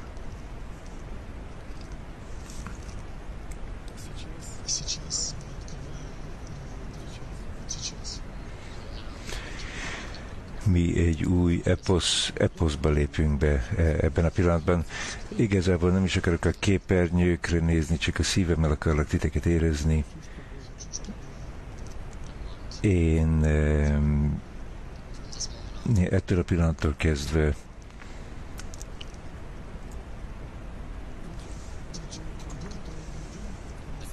az út az út, amelyen haladunk, az igazából nagyon rövid, ez az út a barát szívébe, ez nagyon rövid, ez egy egyenes, közvetlen út a barát szívébe. Mi vagy épp ellenkezőleg engedjük a barátokat a szívünkbe. Barátok, mi egy elképesztő időszakban élünk, amikor az egész módszer az a gyakorlatban megvalósul. E, igazából nincs más, nincs mit magyarázni, nincs mit tanulni egyszerűen most már meg kell valósítsuk a gyakorlatban, amit tanulunk. Ez a gyakorlati megvalósítás, hogy a barátot beengedjük a szívünkbe.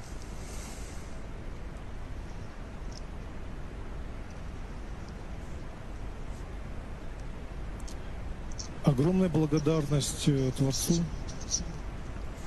Раву. Egy hatalmas hálaadás a Teremtőnek, Ravnak, és nektek, barátok, drága barátok.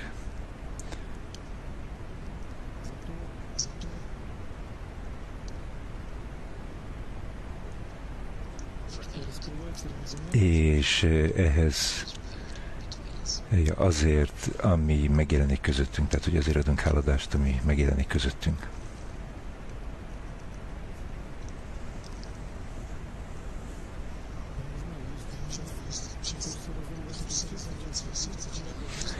Én nem tudom, én csak szeretném a szívemet szétszakítani, annyi mindent szeretnék nektek átadni. Ez a képtelenség, ez a finom membrán, vagy finom határ, ez az az idő, amikor segítenünk kell egymást, amikor el vagyunk kötelezve, hogy segítsük egymást, hogy megtegyük ezt az erőfeszítést, hogy széttöpjük egymás szívét, és csak ezt a pontot ütlegeljük, erre a pontra fókuszáljunk. És a teremtő akkor el van kötelezve, hogy válaszolja nekünk, mivel megérdemeljük ezt. Mi egy új időszakot kezdünk, a szabad akaratunknak a megvalósítását. Egy csoda, egy hatalmas hálaadás ezért a teremtőnek, Lahány.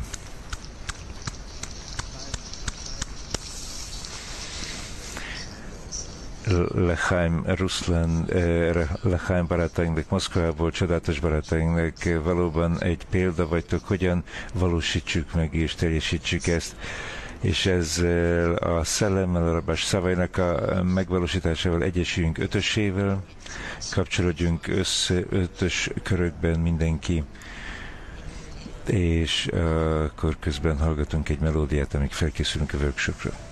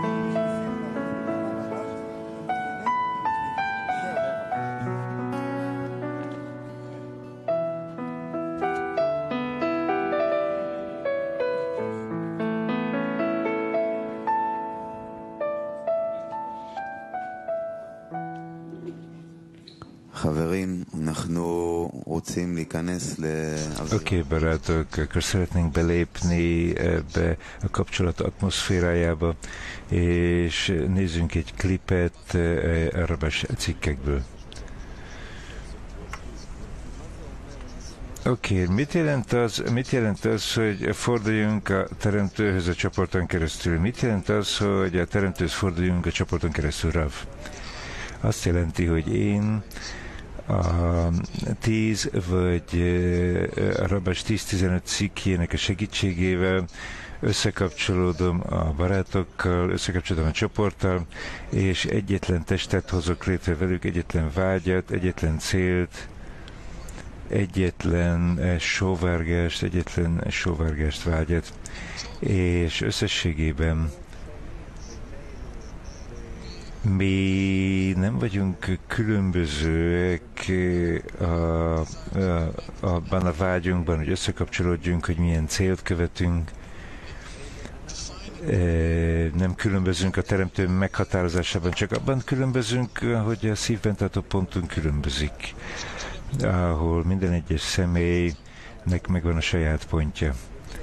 De ezen túl nem, ezen túl nem vagyunk különbözők. Ebből az következik, hogy a szívrendató pontokat a teremtő stabilizálja bennünk, és ez az összeadás a teremtővel ugyancsak ezt a teremtő állítja föl célként közöttünk, és akkor még középen mi ehhez csak hozzátesszük az erőfeszítésünket, a kérésünket, hogy a teremtő mozgasson minket, hogy a szívben pontunkat összekapcsolja a havajával, és akkor ő megjelenik.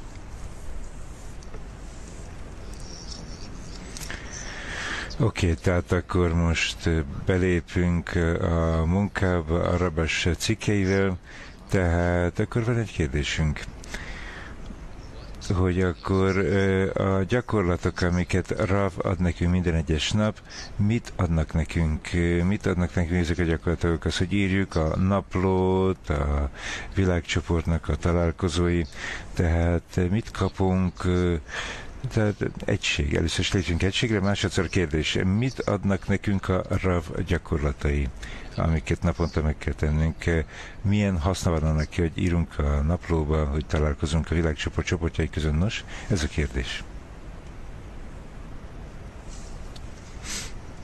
Tehát a kérdés az volt, hogy mit adnak nekünk a RAV napi gyakorlatai, a naplóírás, meg a világcsoport ö, tag, ö, különböző tízesének a találkozói.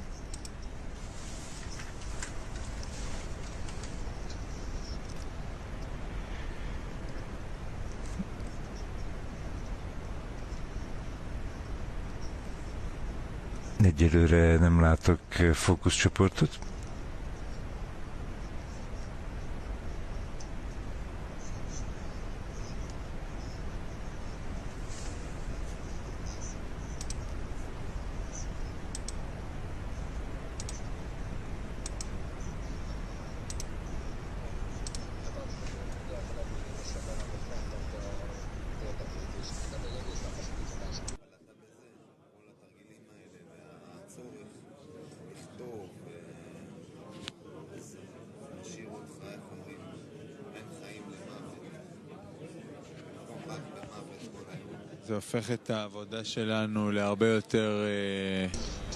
Tehát ez a munkánkat sokkal folyamatosabbá teszi, tehát folyamatosabbá teszi a munkánkat, a reggeli leckétől napközben. Állandóan van egy új levegő, egy új oxigén van a, a, a, az vitorláinkban, ami képes minket továbbvinni, hogy felújítsuk a belső munkánkat. Semmit nem lehet csinálni, minden egy teljes veszteség, teljes hiányosság, csak egység a barátokkal, egység egység után, egyesülve barátokkal, csak így lehet cselekedni. Ez működik jobban, mint az óramű. Igen, még mindig nem értük el a 400 vizsgálatot reggeli lecke előtt, tehát a mennyiségét a vizsgálatoknak, de, de a minőség az növekszik, mióta hozzátettük a naplót, meg az állandó hogy felállítottuk az időket a Zoom találkozókra, hogy elfelejtem, vagy nem felejtem, mindezek a vizsgálatok a célral kapcsolatban, és hogy miért dolgozunk, miért csináljuk, amit csinálunk, hogy miért vagyunk itt. Ez nagyon sűrű, napközben ez nagyon sűrű. A munkánkban, a napi cselekedeteinkben, ez így van. Mindig hozzátehetjük, hogy hogy az alantasság érzése, hogy, hogy, hogy tehát, hogy valami volument ad, hogy, hogy ez a kooperáció a lehetőség hiánya, hogy ne veszítsük el a kapcsolatot egymás között. Ez ezzel az alantasság érzetével megy, mivel hirtelen van egy szükség erre, van egy szükség erre, hogy hogy biztosítsuk, hogy összekapcsolunk a barátokkal, hogy az attitűd az megmarad a barátok fele napközben, hogy ez egy közvetlen vonal, közvetlen kapcsolat a felső erővel. Igen, hogy folytatva azt, amit a barátok mondanak, én úgy érzem, hogy egyrészt eh, kapunk egy felébresztést felülről, hogy arra adja nekünk ezeket a gyakorlatokat, de ezek a gyakorlatok, ezek Martikunra, végső korrekcióra vannak felállítva. Mindegyik személy ezt ugye egyénileg csinálja, de de ezt nem eh, csináljuk külön-külön a saját egónk számára, hanem együtt csináljuk egymás érdekében, egy csoportként, eh, a csoport központjából, és nem a csoport, az összes csoport él együtt, az összes, az egész edényért, hogy egyetlen teljes kapcsolatot okozunk. Ez a Gamartikun kapcsolata, ez az, amit építünk ezekkel a gyakorlatokkal. A gyakorlat az egy gyakorlat, mondják. Ez az egész világ egyetlen hatalmas gyakorlat, amikor elkezdjük megérteni, amikor találkozunk, amikor érezzük az adakozás természetét, akkor megértjük, hogy ez az egész világ, minden, ez csak rajtunk húlik. És azok az, emberek, azok az emberek, akik ezt megvalósítják a gyakorlatban, de ezt csak együtt tehetjük meg. Igen, tehát ez valami olyasmi, forradalmi. Ez forradalmi az összes eh, eh, kapcsolat a világcsoporttal napközben, ez valami olyasmi, ami erőt ad, eh, hatalmas erőt ad nekünk. És mi látjuk, hogy ez hogyan ö, formáz minket, hogy olyan válik, mint a felső fény formazonossággal. Ez, ö, ez több, mint amit el tudunk képzelni. Hatalmas inspiráció az egész csoporttól. Oké, okay, Rabas következő cikke, a közösség fontosságáról szól, az jól ismert, hogy valaki mindenki olyan emberek között van, akinek nincsen kapcsolata az igazság útjának a munkával, hanem épp ellenkezőleg mindig ellenállnak annak, aki az igazság útján és az emberek gondolatai összekeverednek, azoknak a nézete, akik ellenállnak az igazság útjának, az behatol azokban, akikben van valami vágy, hogy az igazság útját járják. Ennél fogva nincs más megoldás, hanem hogy létrehozzunk egy különálló zárt közösséget azok számára, akik az igazságügyet akarják, hogy egy külön nap keretük legyen, tehát egy olyan közösség, ami nem keveredik össze másokkal, akiknek a nézete különbözik tőlük, és nekik állandóan ki kell váltaniuk magukban a közösség céljának a kérdését, hogy ne a többséget kövessék, mivel a többség követése az a természetünk. Hogyha a közösség leválasztja magát a többi emberekről, hogyha leválasztja magát a többi emberekről, az az, hogy nincs kapcsolata más emberekkel a spirituális dolgokkal kapcsolatban, és a kapcsolatuk velük az csak korporális dolgokra vonatkozik, akkor nem keverednek össze nézetükkel, mivel nincs kapcsolatuk a vallással például, vagy a más dolgokkal. De amikor a személy az a vallásos emberek között van, és elkezd velük vitatkozni, akkor azonnal összekeverik az ő nézetükkel. Az ő nézetük tudat alatt is behatol az értelmű, vagy olyan mértékben, amikor a mértékben nem lesznek képesek megkülönböztetni, hogy ezek nem a saját nézetei, hanem valójában, amit megkapott az emberekkel, akikkel összekapcsolódott, ennél fogva a igazság útjának a munkával kapcsolatban a személynek le kell választani magát más emberekről. Ez azért van, mivel az igazság útja az állandó megerősítést követel, mivel ez szemben áll a világ nézetével. A világ nézete az a megismerés, megszerzés, még a Tóra nézete az a hit és az adakozás. És hogyha a személy leválik el, akkor azonnal elfeledkezik az igazság útjának a munkájáról, és visszazuhan az önszeretet világába. És csak a közösség egy olyan formában, hogy mindenki segíti a barátját, így képes minden egyes személy a közösségben megkapni az erőt, hogy küzdjön a világ nézetével szemben. Miért van az, hogy az igazság útja az mindig erősítést követel? Miért van az, hogy az igazság útjának mindig erősítésre van szüksége? Tehát miért van ez az a következő kérdés? Tehát miért van az, hogy az igazság útját állandóan erősítenünk kell? Miért van az, hogy és erősíteni kell magunkat, hogy nehogy a külvilág nézete behatoljon? Tehát ezt a képet láttam magam előtt, hogy, hogy szaladok, és valóban ilyen bőruhában szaladok, tehát amikor megállok egy pillanatra, akkor, akkor megfagyok. Mondjuk Szibériában szaladok, egy pillanatra, akkor megfagyunk. Tehát együnk ez a tűzhöz, nem szabad megállnunk egy pillanatra se. Együtt képessé válhatunk, hogy eljussunk egy ilyen állapotba, a, a fény segít minket. Igen, és ez a fény, ez, ez csak akkor vonzódik, amikor mi dolgozunk, és két lábon járunk, bal és jobb, értelemben, értelem felett. Ez az igazság útja, a kettősség, nincs más út, csak ez a kettősség, a dualitás. És ez az út, ez mindig hívja az új kihívásokat, ezért kell megerősítenünk a csoportban, ez az útunk. Igen, így van és ezt meg kell erősítenünk, meg kell erősítenünk, ez, ez egy erőből van.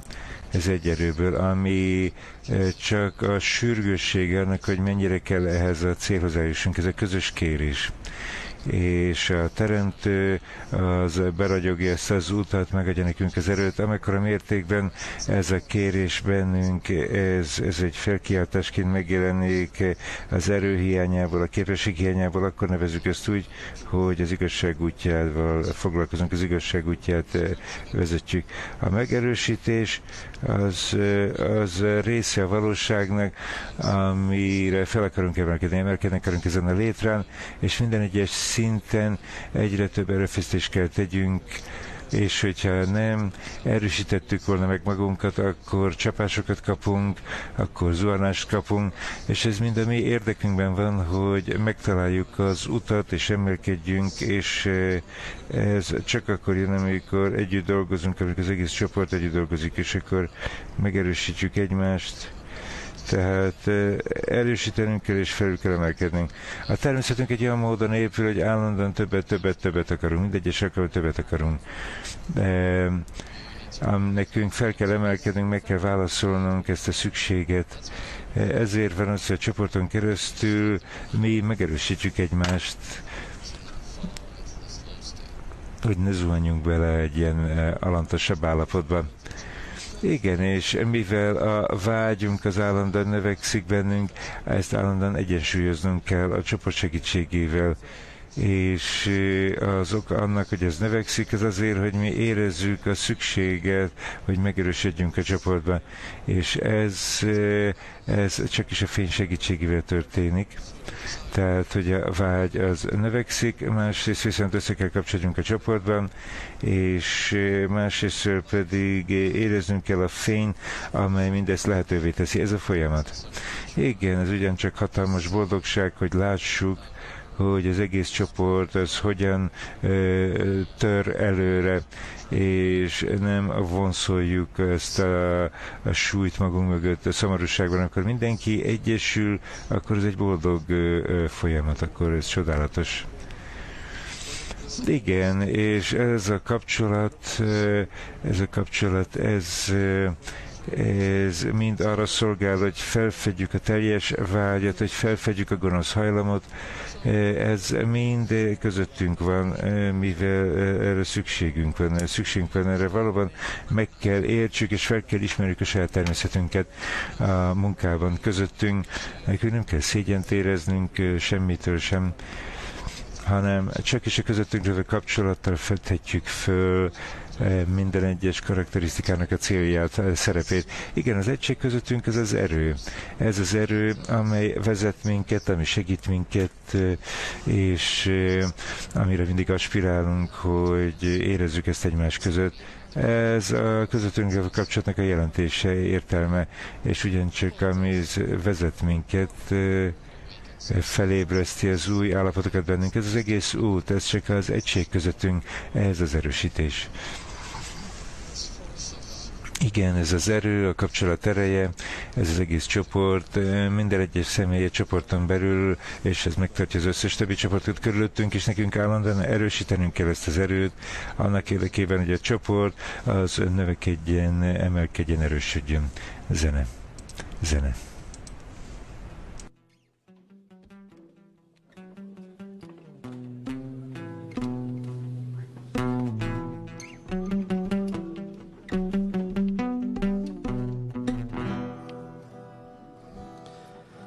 Notte vai e da noi torniamo a casa.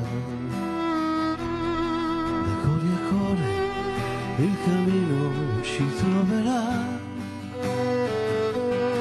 In se respiro siamo connessi io e te. Insieme per la nostra strada noi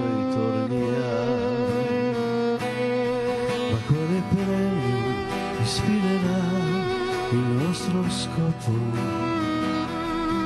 e quale sforzo permetterà di andare avanti. E le cose ci credetti io e te ma insieme torniamo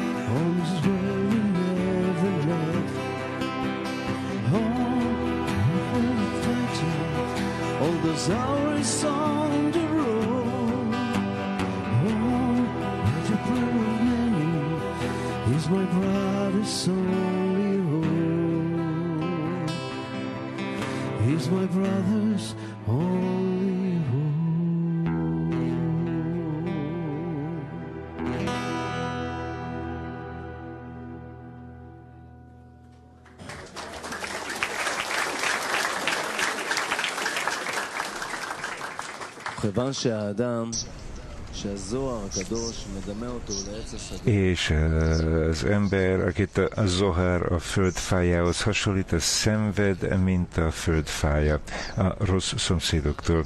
Más szóval nekünk állandóan le kell vágjuk a gyomot körülöttünk, mely befolyásol minket, és távol kell maradnunk a rossz környezettől, olyan emberektől, akik nem kedvelik az igazság útját. Nekünk óvatosan kell vigyáznunk, hogy ne menjünk mások után. Ezt nevezzük úgy, hogy izoláció vagy leválás, amikor a személy gondolatai csak egy fennhatóság alatt vannak, amit úgy nevezünk, hogy az adakozás, és nem pedig a publikus fennhatóság alatt, ami az önszeretet. Ezt nevezzük úgy, hogy két fennhatóság, a teremtő fennhatósága és a személy saját fennhatósága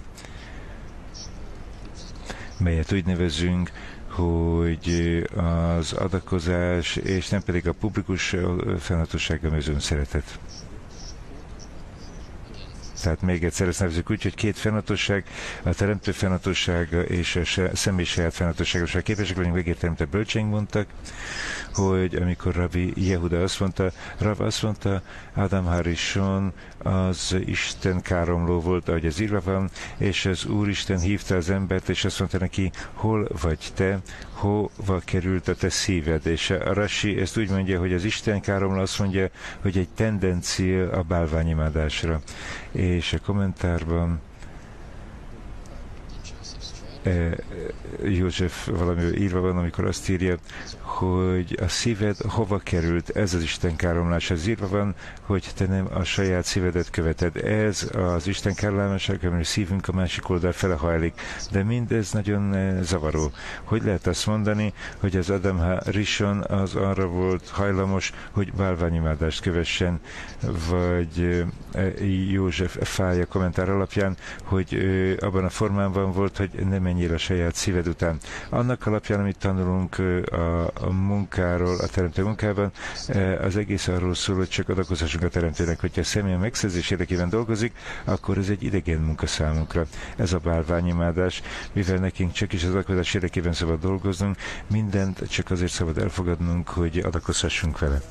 És ez az, amit mondott, hogy ő kudarcot vallott abban, hogy ne menjen a saját szíve után, más szóval ő nem volt képes a tudásfáról való evést adakozás szándékával elfogadni, hanem a tudás a megszedés érdekében evett, ezt nevezzük a szívnek, a saját szíve után.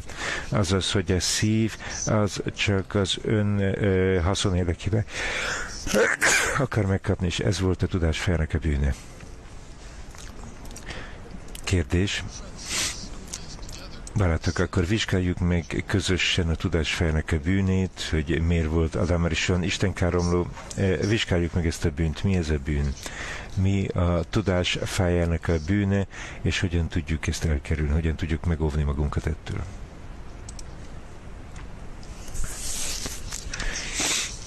A bűn, ahogy ezt hallottuk, az, hogy a magunk számára kapjunk meg, csak is ez, és hogyan tudjuk ezt megóvni, nem tudom, hogy el tudjuk -e ezt kerülni, esetleg korrigálni tudjuk, vagy megfelelően tudjuk ezt felhasználni, de elkerülni, ezt nem lehet ezt a tendenciát, a magunk érdekében akarunk megkapni. Csak is egy módon, csak egy módon tudunk ezzel megbirkózni, amikor egyre inkább befektetünk egymásba. Csak is egy ilyen módon befektetünk, csak ki tudjuk stabilizálni egy helyes módon, és akkor képesek vagyunk helyesen adakozni, akkor egyre több barátot össze tudunk kapcsolni ezzel a meleg eh, szerető kapcsolattal.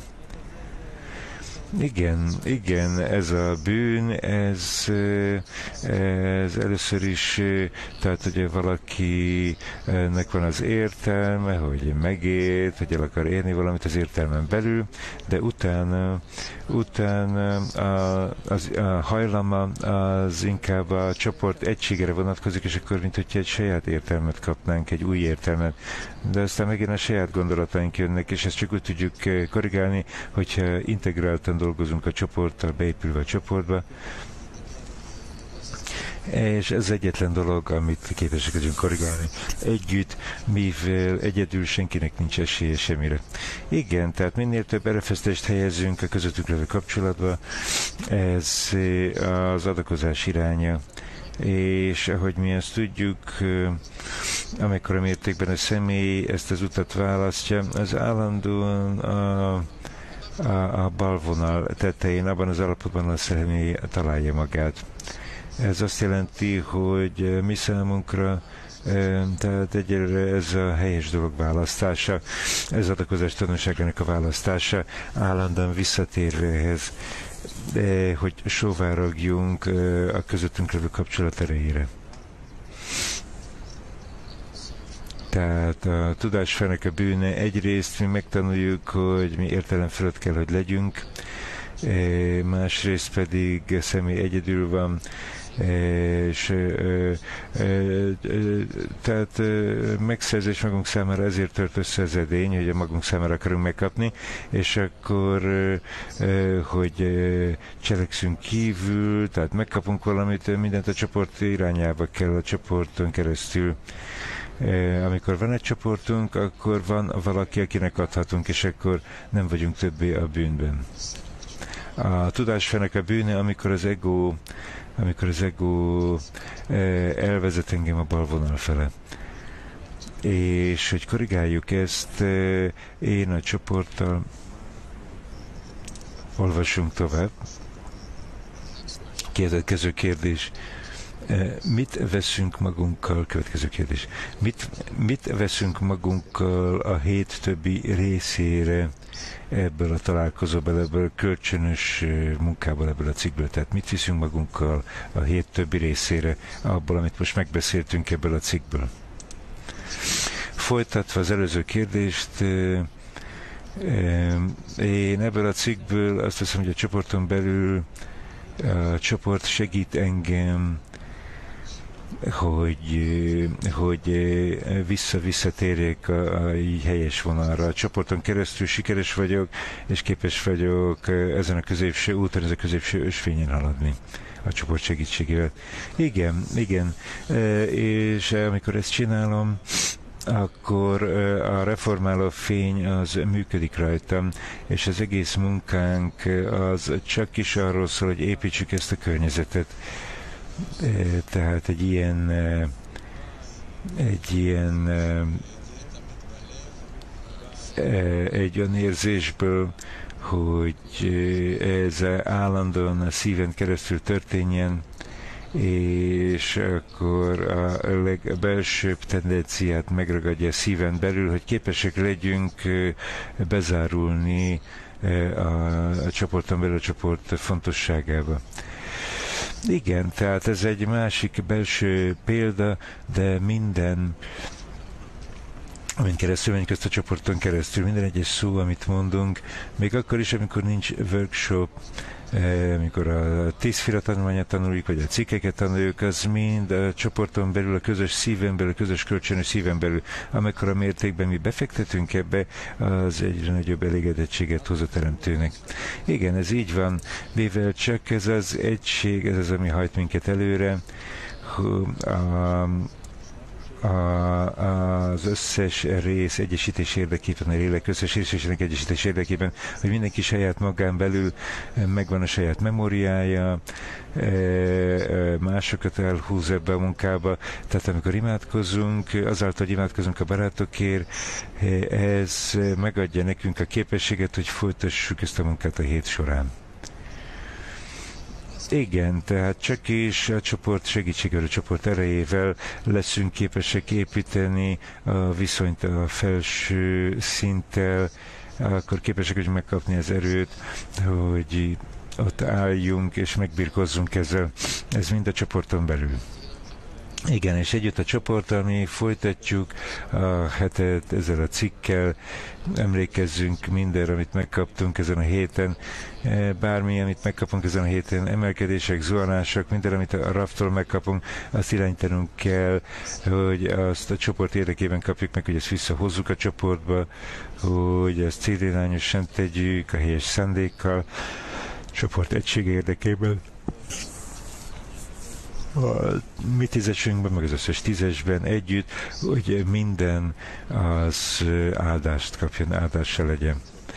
Mi szeretnénk, hogy minden egyes kör az magához vegye a legfontosabb alapelveket, amit találtak ez alatt a beszélgetés során, hogy ezt osszuk meg egymással. Tehát minden egyes kör, tehát vegyetek egy fontos alapelvet, egy alapelvet, és osszátok meg a tízessel a körrel, tehát hogy osszunk meg egy fontos alapelvet a tízessel.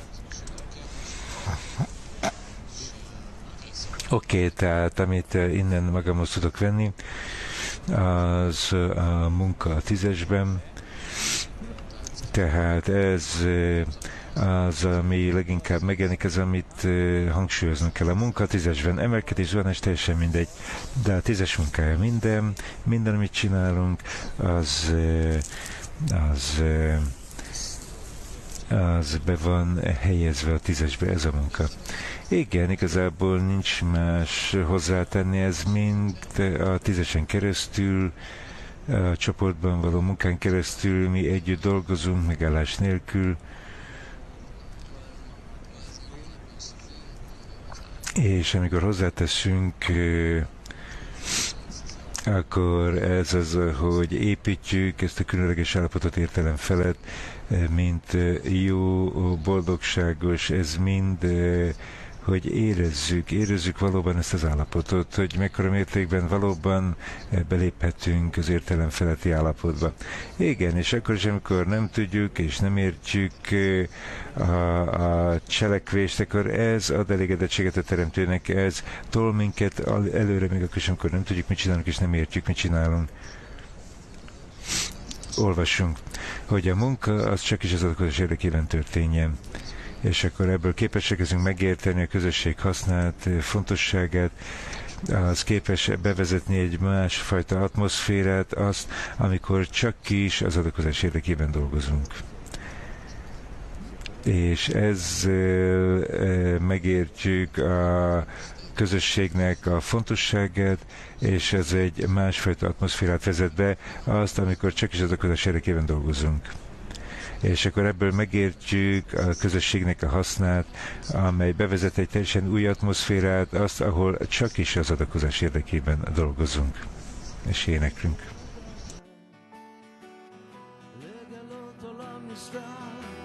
והוא היער. יש כאלה אנשים, להם חיכית, והם רואים את מה שאף אחד לא רואה. יש בי שאלה גדולה, איך אגיע לגלות מה שגילו, איך להגיע. תבחר לך סביבה טובה, ותגיע, ותגלה לך עולם מושלם שנעלם. את עולמך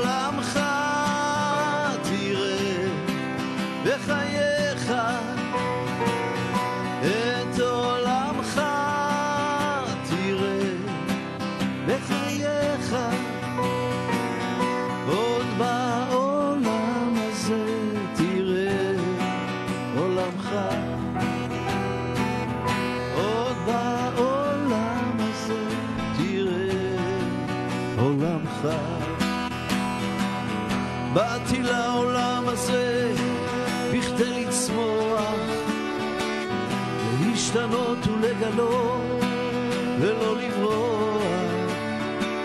מהגילוי שמחכה איתי לשמוח דרך חברים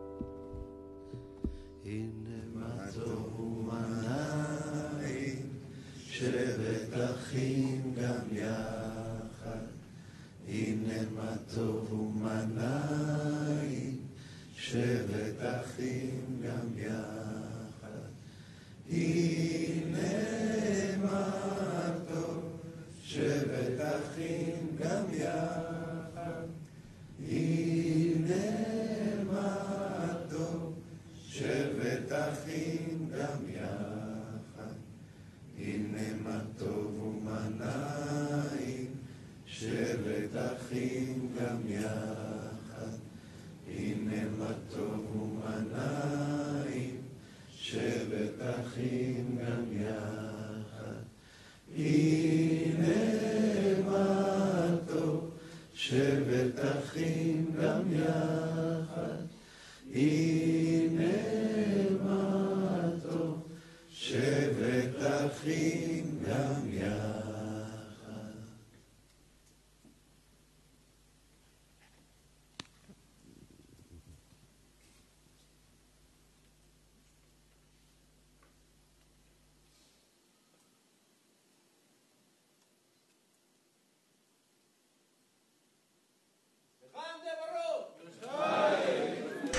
chętnych ruch.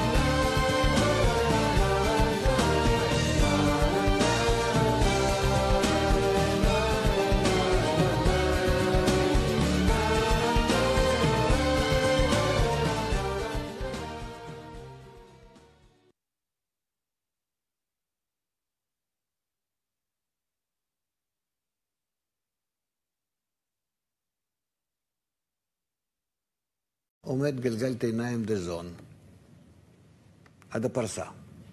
ולמטה מפרסה בינתיים מקום ריק, מצומצם. הוא מסביר לנו מבנה של עולם הניקודים, שאנחנו כל כך דיברנו על זה כבר. תציירו לעצמכם. מה אתם מסתכלים עליי? אוי, תראו מה שאני ציירתי. לא רואים, כן? תראו להם מהמסך. הלו, איפה מחלקה? איך קוראים להם? ניתוף. או, לא, משהו לא רואים כל כך. עוד יותר. ככה. אתם רואים? אי אפשר לקרוא. אפשר, אפשר? טוב, שיהיה לכם ככה. נו, אז אה, אני אצייר. מה לעשות? צייר גידול בנים. אז ככה, טאבור הכללי, מטאבור ומעלה זה נקרא ראש, איש סוט, עד החזה,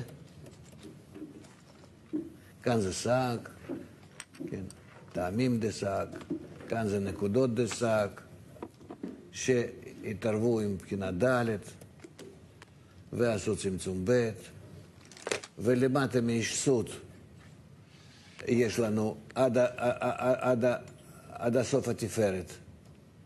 זה אה, דניקודים, ולמטה מכתר דניקודים יש לנו אבא ואמא דניקודים, ולמטה מהבבאים עד הניקודים זה אה, זון דניקודים. הכל זה בגלגלת העיניים. וכאן זה מקום ריק. צמצום, ב'. זה, זה בסדר. זה ברור, כן? אה, מה שיש אתה רוצה? לא, רצית להוסיף אז זה שליש תחתון לתפארת.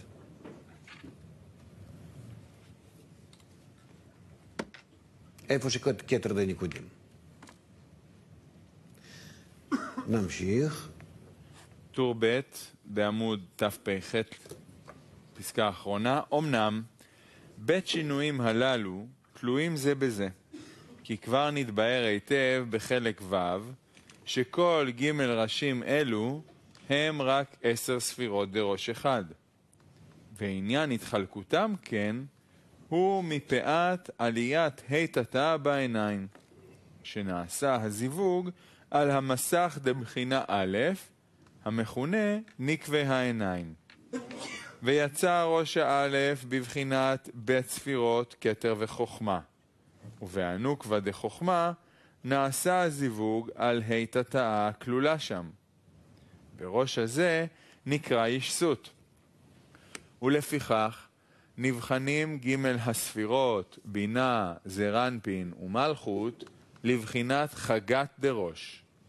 כי להיותם נמצאים למטה מהמסך וממקום הזיווג, הנה יצאו בזה מתורת גר. שוב תקרא את זה, אמנם. אמנם בית שינויים הללו תלויים זה בזה, כי כבר נתבהר היטב בחלק ו' שכל ג' ראשים אלו הם, כתר ואבא ואמא, הם רק עשר ספירות דראש אחד, ככה אנחנו קוראים אותם, ראש דניקודים. ועניין התחלקותם כן הוא מפאת עליית ה' בעיניים. אם לא היה צמצום ב', לא היינו מתחלקים כתר ואבא ואמא לשניים. שנעשה הזיווג על המסך דבחינה א', דראש, דסג, המכונה נקבי העיניים, ויצא הראש האלף בבית ספירות, כתר וחוכמה, ובענוקווה דחוכמה נעשה הזיווג על ה' תתאה הכלולה שם. וראש הזה נקרא ישסות, ולפיכך נבחנים ג' הספירות, בינה, זרנפין ומלכות, לבחינת חגת דראש. כי להיותם נמצאים למטה מהמסך וממקום הזיווג, הנה יצאו בזה מתורת גר. תמשיך. ועם כל זאת, נבחנים החגת האלו גם כן לראש. ולא עוד, אלא שהם עיקר הראש של הפרצוף דניקודים. כי הם דווקא מפעילים את התוך, זרמפין ומלכות דניקודים. כי ראש האלף הנ"ל, הנקרא ישסות, העומד מטבור אק ולמעלה עד החזה, הוא אינו מצטרף כלום להפרצוף ניקודים, אלא נחשב כולו לבחינת עקודים. כי הוא צמצום א', לא שייך לצמצום ב', למעלה, מ, למעלה ממקום הזיווג שבראש דסק, כן? מקום הזיווג שנמצא באיזה, באיזה מקום? נקבי עיניים. אז מנקבי עיניים ומעלה זה כישסות שנמצא מטבור ועד החזה, ומנקבי עיניים למטה זה כבר כתר ואמא. הלאה. אלא בחינת האח"פ שלו שיצאו לחוץ, לבחינת חגת, המה נחשבים להראש דניקודים. שזה כתר ואבא ואמא. אמנם גם אח"פ הללו מתחלקים לבית ראשים. כי בחינת האוזן, הנקרא ספירת הכתר דניקודים, נחשבת לבחינת כתר וחוכמה דראש הזה. בסוד, ה' תתאה בעיניים. ובחינת חותם פה, שיצאו לחוץ גם מראש הזה, בסוד י' כ' ו' באח"פ, הם נחשבים לראש הגימל, הנקרא אבא ואימא דניקודים. ותדע שגם ראש הבית, הנקרא כתר דניקודים, גם הוא אינו נחשב לראש הפרצוף. כלומר, שהמלכות שלו אינה מתפשטת מלמעלה למטה לבחינת עשר ספירות דגוף. כי הוא אינו מאיר ומתלבש רק בראש הגימל לבד. זאת אומרת, תסתכלו על השרטוט. הראש האלף, שזה ישסות, פועל ממטה למעלה.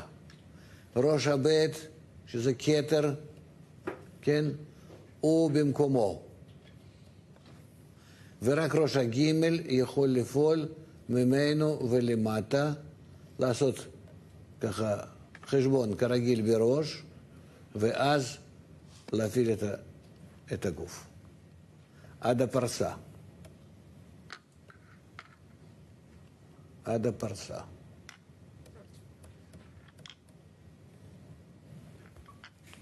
הלאה. אני לא יודע מאיפה להתחיל. ושורה דהיינו. ורק אבא ואימא דניקודים הם ראש להפרצוף של הניקודים. דהיינו, שהמלכות שלהם מתפשטת מלמעלה למטה לבחינת העשר ספירות דגוף הניקודים. ודע שאפילו בשעת הגדלות, שה' תתאה יורדת מן העיניים שבכתר להפה דראש, ואבא ואמא שווים לבחינת ראש, מכל מקום אין הכתר עצמו מצטרף לאבא ואמא באופן כזה שהתהוו לראש אחד ממש. אלא רק הארת נהי של הכתר מתלבש באבא ואמא. וזה סוד, כי אבא ואמא נעשים לבחינת חב"ד, וראש הבית הוא בבחינת כתר ממעל לראשם. והנך רואה איך העשר ספירות של ראש אחד נתחלקו ונעשו לגימל ראשים, אשר כתר וחוכמה שבהם לקח ראש אחד, והבינה שבהם, המכונה, המכונה אוזן, לקחה ראש הבית, וזת שבהם, המכונים חותם פה, לקח ראש הגימל, הנקרא אבא ואמא, שהם נחשבים לראש הפרצוף הזה. אבל בית הראשים הקודמים אינם מצטרפים לגוף הפרצוף. אז תראו מה שקורה. כתר וישות הם בכלל לא שייכים כאילו לניקודים. ורק אבא ואימא זה הראש, ומה שלמטה זה הגוף.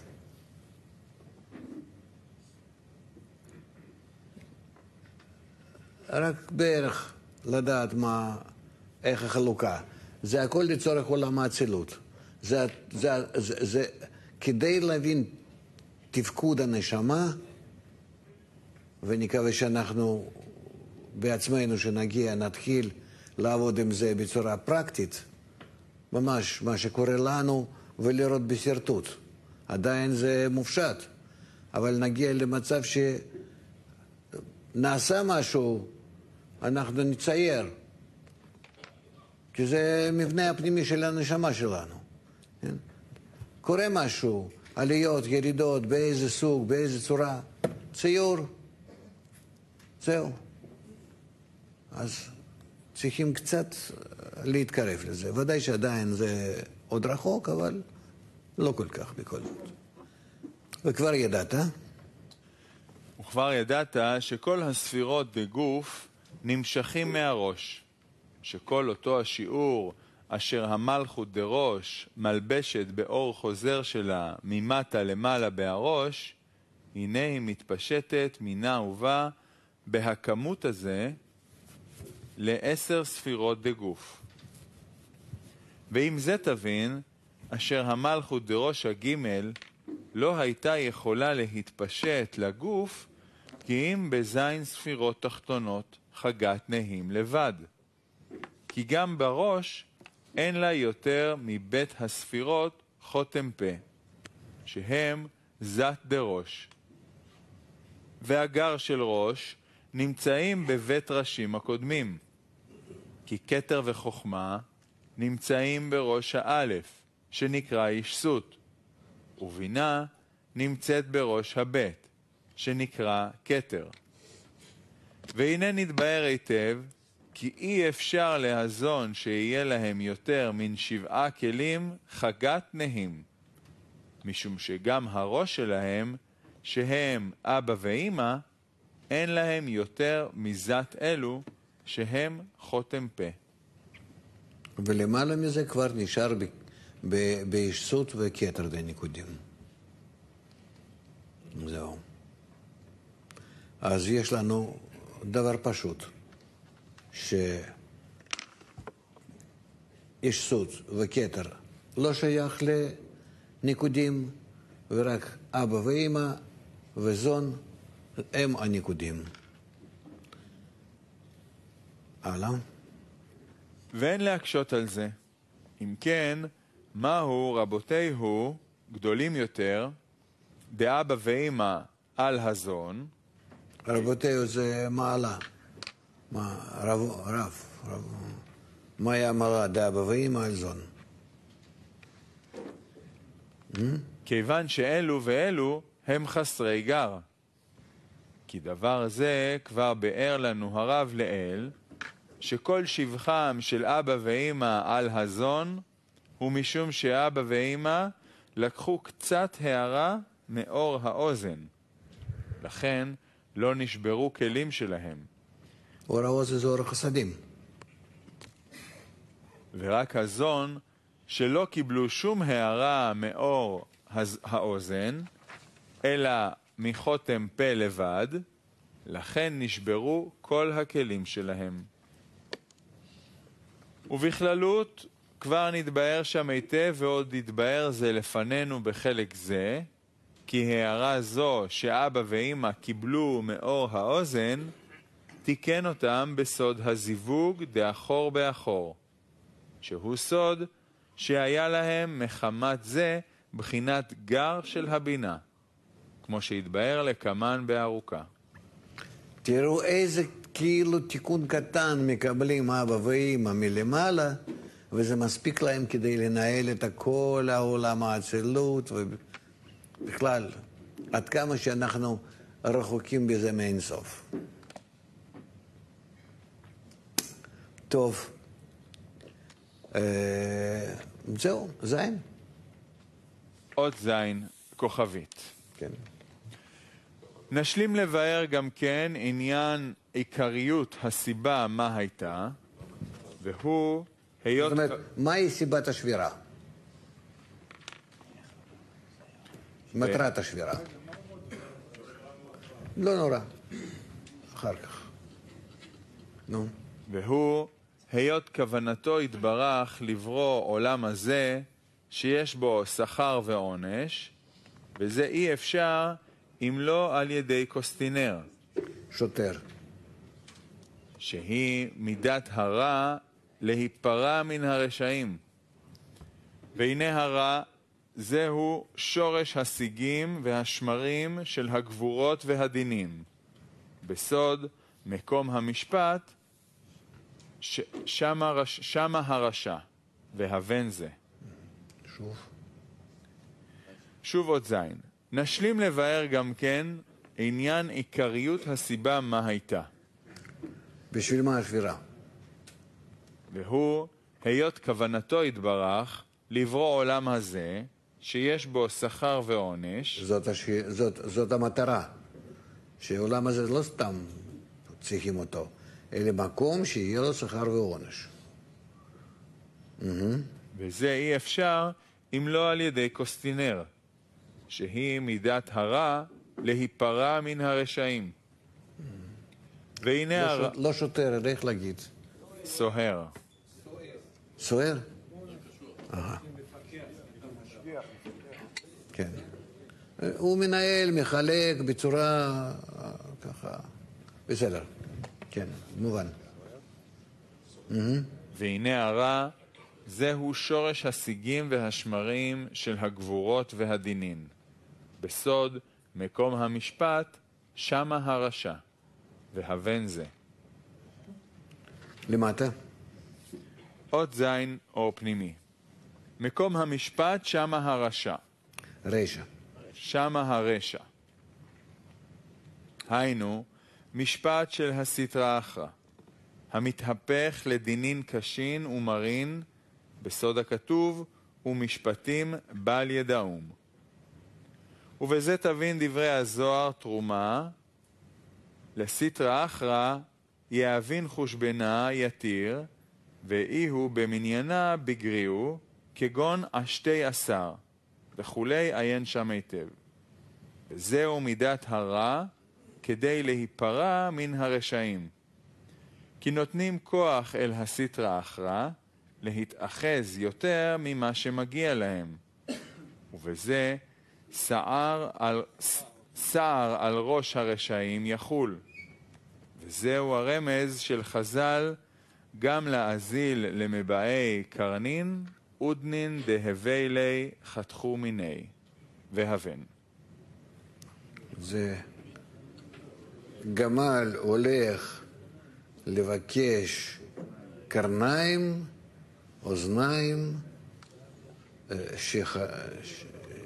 שממנו, ש... שכאילו חתכו אותם, שיחתכו ממנו. טוב, אה, בסדר, נו, זה בעיה של גמל. אנחנו אה, בזה, אז אה, אה, כדי להרגיע את שיוביץ' תקרא אות ו' בחזרה, הוא בלי אור פנימי, אבל נקרא. אות ו' בדף תפ"ח. ועיקר הדבר, איך היו ז' ונעשו י"א, הוא כי דלת אחוריים נשברו מן חוב וישסות, ונתחברו למעלה מזין מלכים אלו עמהם, והיו י"א.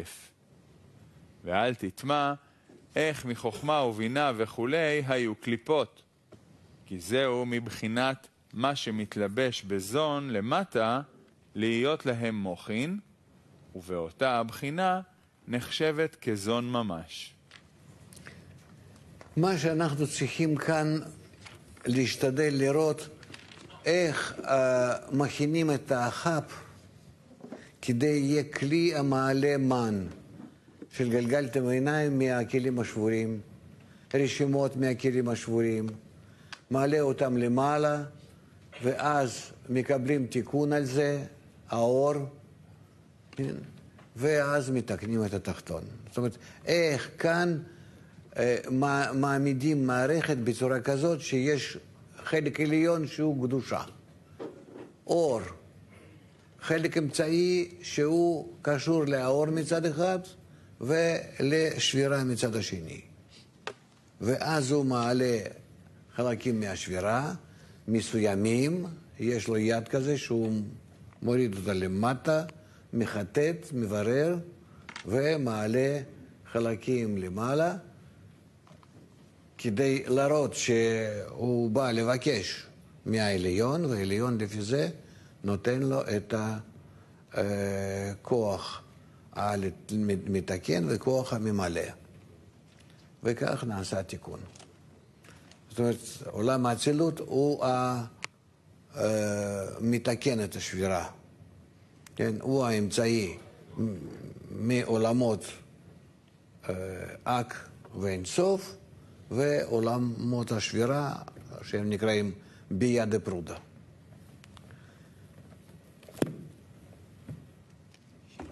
נעבור לחלק הבא של השיעור, ולפני כן נשיר ביחד שיר.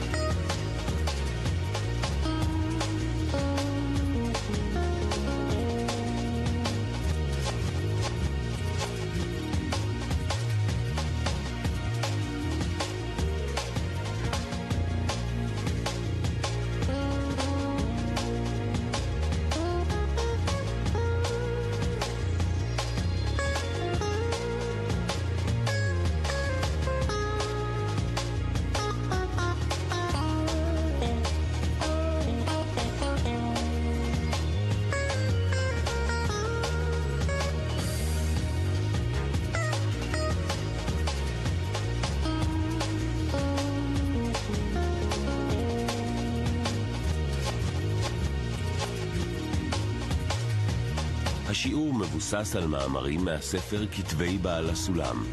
את הספר ניתן להוריד באתר קבלה לעם, kab.co.il.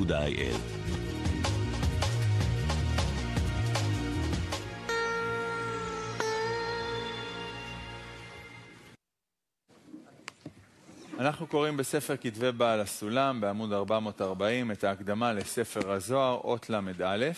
ניתן לצפות בשידורנו באתר